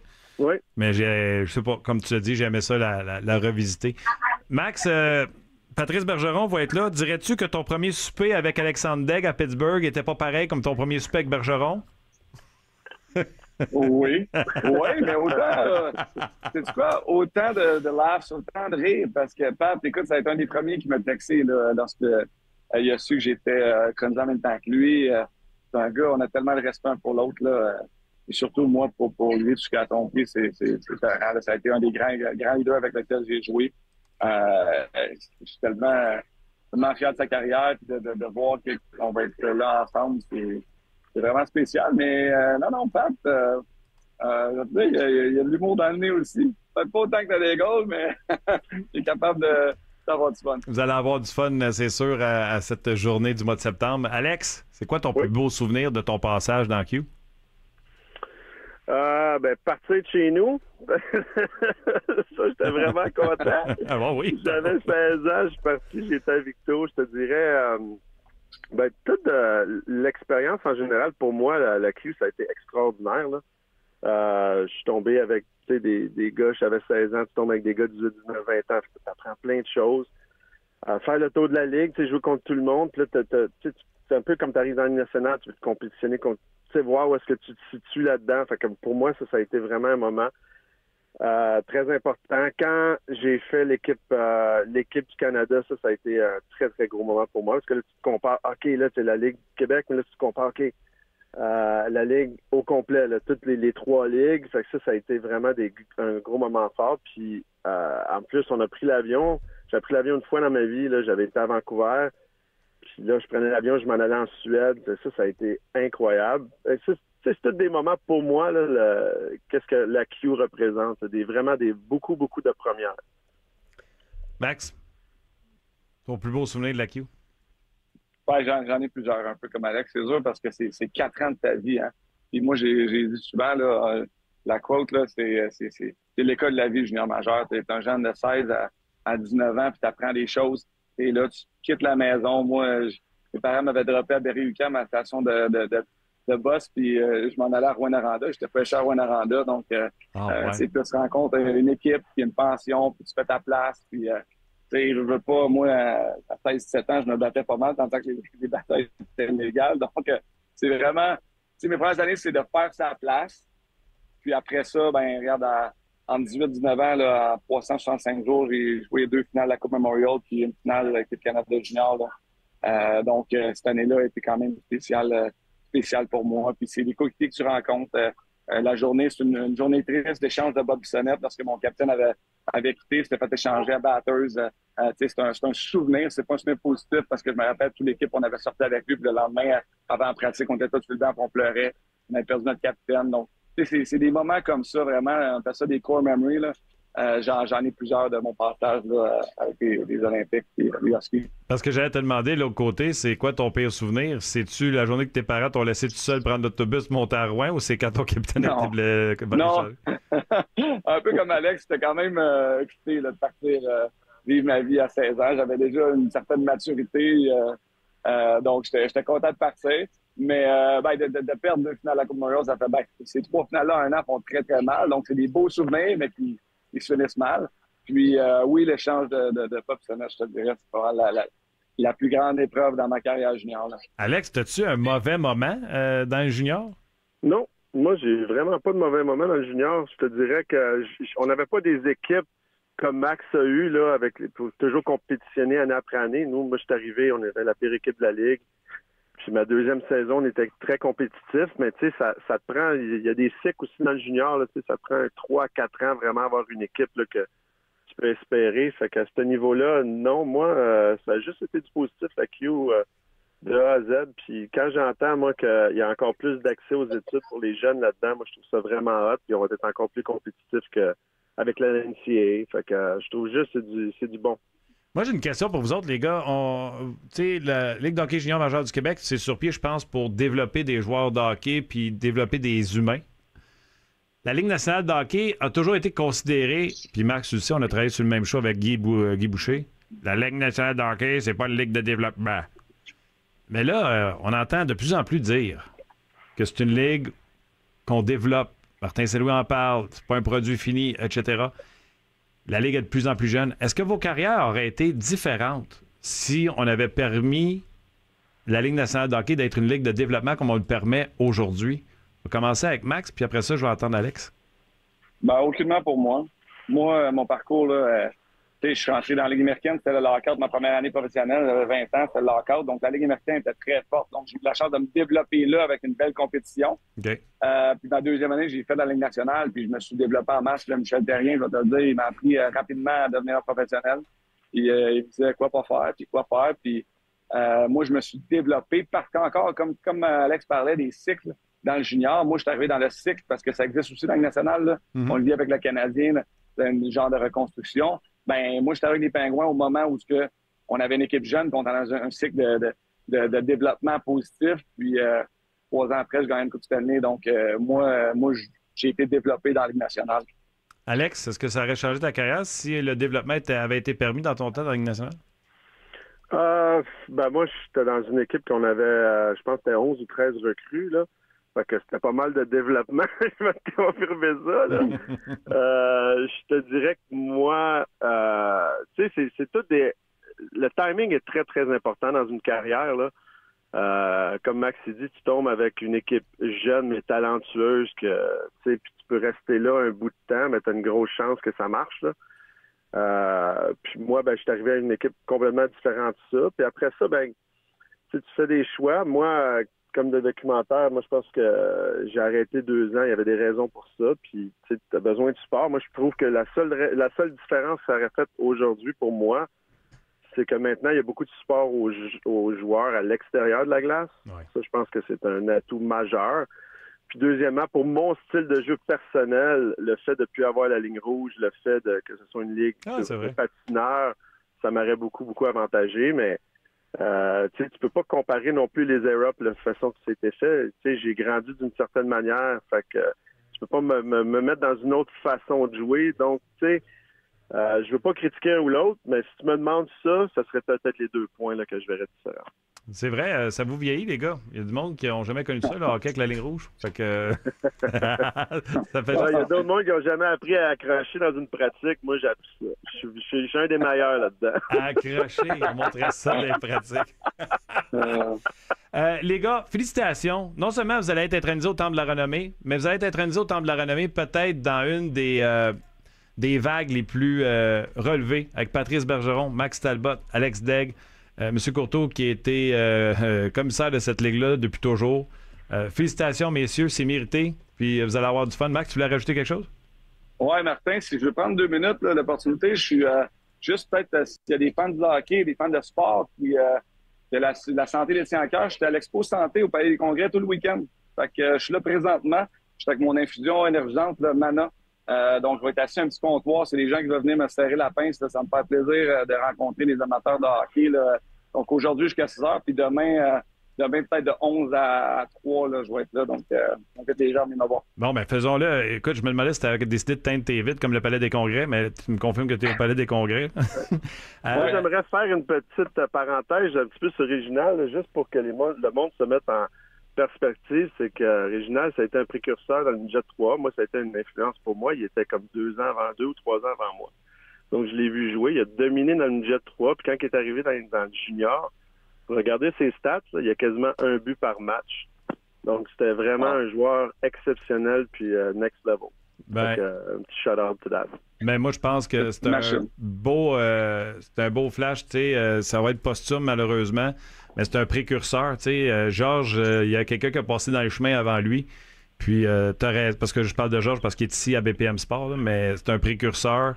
Euh, c'est un gars qui les a. euh, J'ai regardé le documentaire d'ailleurs, je n'ai parlé en nom de Grand Fury il n'y a pas si longtemps. C'est des gens qui ont tra- tracé le chemin pour euh, les autres. Euh, tu fais très bien, Alexandre, de, de le mentionner. Puis je vais revenir sur euh, Max. Tu es au Palais des Congrès. C'est dans le cadre de quoi? Et on peut être voir de quelle heure à quelle heure aujourd'hui et demain? Aujourd'hui jusqu'à 6 heures, demain de euh, euh, 11 à 3. Euh, je suis là avec ma, mon infusion énergisante Mana, qui sont disponibles dans tous les, les GA. Là, donc, euh, un beau petit produit santé, puis euh, on va serrer des mains, puis euh, faire goûter ça aux, aux gens. Les gars, merci d'avoir pris le temps à BPM. Je suis convaincu. Moi, je, je regrette de ne pas avoir joué dans Q juste pour pas être intronisé en même temps que vous autres pour avoir du fun. Max Talbot, Alexandre Beck, gros merci, les gars. Bon week-end. Merci, Martin. Salut, Alex. Salut. Je te gage que, présenté par Bet99.net. Tous les matchs commencent sur Bet99.net. C'est le temps de nous envoyer vos textos pour Qu'est-ce que vous mangez ce soir? La chronique Qu'est-ce qu'on mange s'en vient. 514-790-0919. Déjà, euh, Ronnie de Laval qui nous écrit lasagne aux fruits de mer. 514-790-0919. Mais tout de suite, on s'en va rejoindre Greg Lanto. Salut Greg! Cuisse de canard avec asperges et une tarte au sirop d'érable. Wow! Je mangerais juste le dessert. C'est bon, ça la question? Petite cuisse de canard. Euh, ça, euh, Greg Lanto, c'est l'homme que euh, je voulais pas compter. Je prends deux petites secondes pour compter ça. Un moment donné, je marchais euh, au Centre Bell, puis avant, je me stationnais, pour ceux qui sont au courant, là, à côté de l'ETS, c'était une rue. Là, c'est Ouais. devenu une rue pi- piétonnière. Fait que euh, je marche en plein milieu de cette rue piétonnière où il y a des bancs, des chiens, des arbres. Et à un moment donné, il y a un gars avec euh, 804 rouleaux de papier de toilette qui s'en vient vers moi. C'était Greg Lanto? Ben non. Ouais. Puis si tu me connais, tu sais que 804 rouleaux de papier de toilette, euh, ben juste un, un format régulier de 24 papiers de toilette, euh, juste ça, c'était assez pour me voir la face. Fait que je sais pas comment tu m'aurais reconnu. Greg marchait au son. Ah. Euh, pourquoi tu veux que je te parle de ta solide soirée hier? Ben écoute, euh, on se parlait du match euh, qu'on a regardé ensemble d'ailleurs, c'était très agréable. euh, le match des Canadiens contre les Bruins, puis on s'était dit moins de 5.5 buts, c'était mon Bet99 Joe avec moins de 27.5 arrêts pour Samuel Montembeau. Euh, non, c'est pas vrai. J'ai dit, oui, mais en fait, c'est ça, 3, pardon, parce que le Bet99 Joe, c'était Canadien plus 1.5 et les trois cotes sont rentrées, donc ça a été une très belle journée hier au bureau. Fantastique. On regarde quoi pour euh, les euh, aujourd'hui? Ben, étant donné que je serai pas avec vous autres pendant trois semaines, les gars, je voulais juste vous euh, faire une petite mise à jour sur euh, les, les finalistes et les gagnants de la Coupe Stanley. Je sais pas qui, selon vous, sont euh, les favoris. Si vous voulez répondre euh, rapidement, là, selon les preneurs au livre, les équipes favorites. Euh, Martin, t'en, t'en as quatre devant toi, fait que je peux peut-être demander à Ben et à Fix euh, qui sont leurs, leurs favoris euh, qui choisissent pour remporter la Coupe Stanley à ce date-ci. T'as l'Avalanche, euh, c'est sûr, puis t'as euh, les Oilers ouais. aussi. Les Panthers de la Floride. Les Panthers, ouais. Les Panthers sont les favoris à 7,25. L'Avalanche est troisième à 9. Les Oilers sont à 8, sont troisième. Les quatrièmes sont les Hurricanes de la Caroline, qui sont toujours très, très hauts euh, dans ces classements-là, sont à 9,5. Et après, les Rangers viennent terminer le top 5 à 10,75. Donc, je trouve ça intéressant. Et euh, ceux qu'on a affrontés hier, c'est les Bruins de Boston à 11,5. Les Canucks qui ont vraiment, vraiment beaucoup descendu. Et les Jets également à 12 et à 15 respectivement. Euh, intéressant. C'est quoi ça, la conférence gagnante? Ben, tu peux voter tout de suite pour, euh, si tu crois, par exemple, euh, comme Ben, que l'Avalanche va aller remporter la finale de la Coupe Stanley. Ce serait mon choix également, Ben. Alors, ex- excellent bon choix. Donc, la conférence de l'Ouest, la cote est à 2. Et la conférence de l'Est, la cote est à 1,83. Si vous pensez que c'est n'importe quelle équipe d'une de ces deux conférences-là qui va l'emporter, mais vous avez les cotes et on peut voter par division également. Euh, 3,30 pour l'Atlantique, 3,75 pour la Pacifique et la division centrale, c'est 4,20.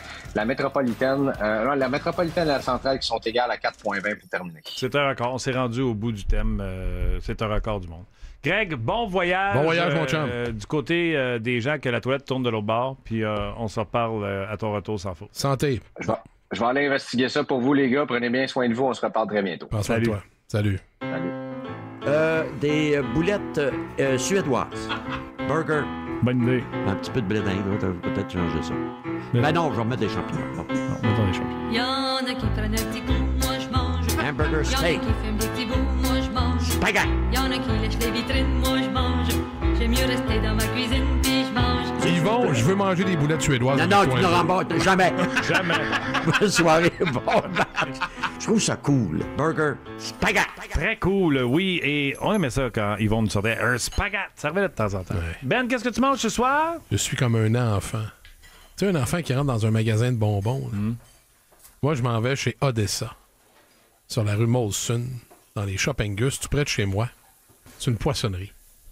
Je rentre là-dedans. Juste l'odeur d'une poissonnerie. Ah non, moi, je capote là-dessus. Et là, je vais me choisir, je vais regarder, mais j'ai le goût de homard, mais tu sais, du homard, déjà, de la chair de homard. J'ai pas, le goût de pas avec- pas le goût de me battre avec la carcasse. Tu peux pas dire que t'aimes l'odeur du poisson. tu- J'aime l'odeur d'une poissonnerie, oui, je m'excuse, j'aime ça pour vrai. Qui qui aime l'odeur de pète? C'est pas une odeur de pète. Ok. Ça sent bon, les fruits de mer. Puis je vais me laisser tenter par les gâteries de la mer. Je me paye un bon snack de la mer ce soir. Ah oui? Ouais. FX? Je vais souper au restaurant ce soir avec notre ami Chuck. On Ah s'en oui? va dans un restaurant. Euh, Paraît que Mathilde n'est pas là. Festival du resto cette semaine. Ah, Mathilde ouais. par Chuck. Ben, Ah, ça finit pas de la même façon. non, effectivement. Ben, Effectivement. Euh, on va dans un restaurant italien à la Plaza Saint-Hubert et euh, je vais manger des pâtes euh, ce soir parce que de la pizza, j'ai. Bon, tu n'as eu pas ça mal fait cette trois jours que je mange de la pizza. Je vais, je vais me garder une petite gêne. Euh, j'ai de la misère à digérer, mais. Merci à nos amis de chez... Et Elio Pizzeria. Oui. Elio Pizzeria, 60 ans, super promotion. OK, OK. Bon, bon- bon Martin? appétit. Merci. Euh, ma blonde m'a écrit nacho. J'ai marqué « Hein? » J'ai reposé la question « On mange quoi? » Des nachos. Elle a marqué « Nacho? Ben oui. Full fromage. Ouais, faut le fromage. Faut le gratiner. Mets du poulet là-dedans. mais Ah ouais, du bacon, verts, des oignons verts, bacon. des piments forts. Ah, t'avouer ouais. que j'arrive moins vite chez nous à soir que quand elle m'annonce qu'on commande de pizza. là. Ah, des nachos, c'est super bon. Ramasse-toi un side. Ah non, excuse-moi, les ailes de poulet. Ben non. Excuse-moi, excuse-moi. Je commence à te connaître. OK. Messagerie texte? Messagerie texte, c'est fixe. Sur la messagerie texte, on a Pascal qui mange des cuisses de grenouille pour les intéressés. Pizza Toscane, ça revient. Jimmy qui mange du poulet Benny. Martin de la pizza. Il y a Sushi avec egg rolls qui revient également sur la messagerie texte. Mike hamburger steak. Vincent crevette bang bang. Ah, les crevettes bang bang! C'est- Luc rouleau de printemps. Ah, Les rouleaux de printemps. Mais toi, des petites cuisses de grenouille, Martin? Non. Cuisses Même les grosses. de non. grenouille. Euh, écrivez vos noms, on va vous enregistrer dans ma chaîne parce qu'il y a quelqu'un qui écrit sous-marin, puis euh, j'aurais peut-être été chez eux. Euh, Ah, mais les crevettes gangbang sont revenus souvent cette semaine. Ouais, vraiment. il y a ouais. quelqu'un qui a dit des pâtes, craft dinner. Du craft de nœud. Vendredi soir, du craft de nœud, me Je semble. pense que j'arriverais chez nous plus vite. Avec du craft nœud qu'avec un nachos. Nachos, tu fais ça quand tu reçois du monde, puis tu sais, c'est- Ah, c'est bon. tu fais des bouchées. C'est pas un souper du vendredi soir que tu sais, Ben oui, le mais- souper de la récompense de ta semaine de travail, tu sais, ah, une souper récompense. Ouais, mais fais-toi-en un garni. nacho, ça fait pouit pouit. Mets des escargots dedans. Ah non, un nacho un vendredi soir, c'est bon. Ah non, moi. euh, Non, ça c'est quand tu reçois, puis tu fais des bouchées, puis c'est correct là. Mais ton souper de récompense du vendredi, Moi, ça serait de la malbouffe. moi je t'annonce, Automatiquement. je t'annonce qu'il y aura fondu au chocolat. Ah, tu vas te payer une petite Avec, fleur euh, le- Si je peux manger un nacho, je te l'annonce. Amélia a un bon point. Il vient de me, me souffler à l'oreille. Il a dit Martin, là, il chiale, mais c'est même pas lui qui le prépare, le nacho. Ben non, si ça avait été moi, on ne j'aurais pas préparé ça. Tu vois bien? Passez là une belle fin de semaine, des boys. Merci Ouais, Ben vous d'avoir aussi. été là. Merci à vous tous et toutes. Passez une belle fin de semaine.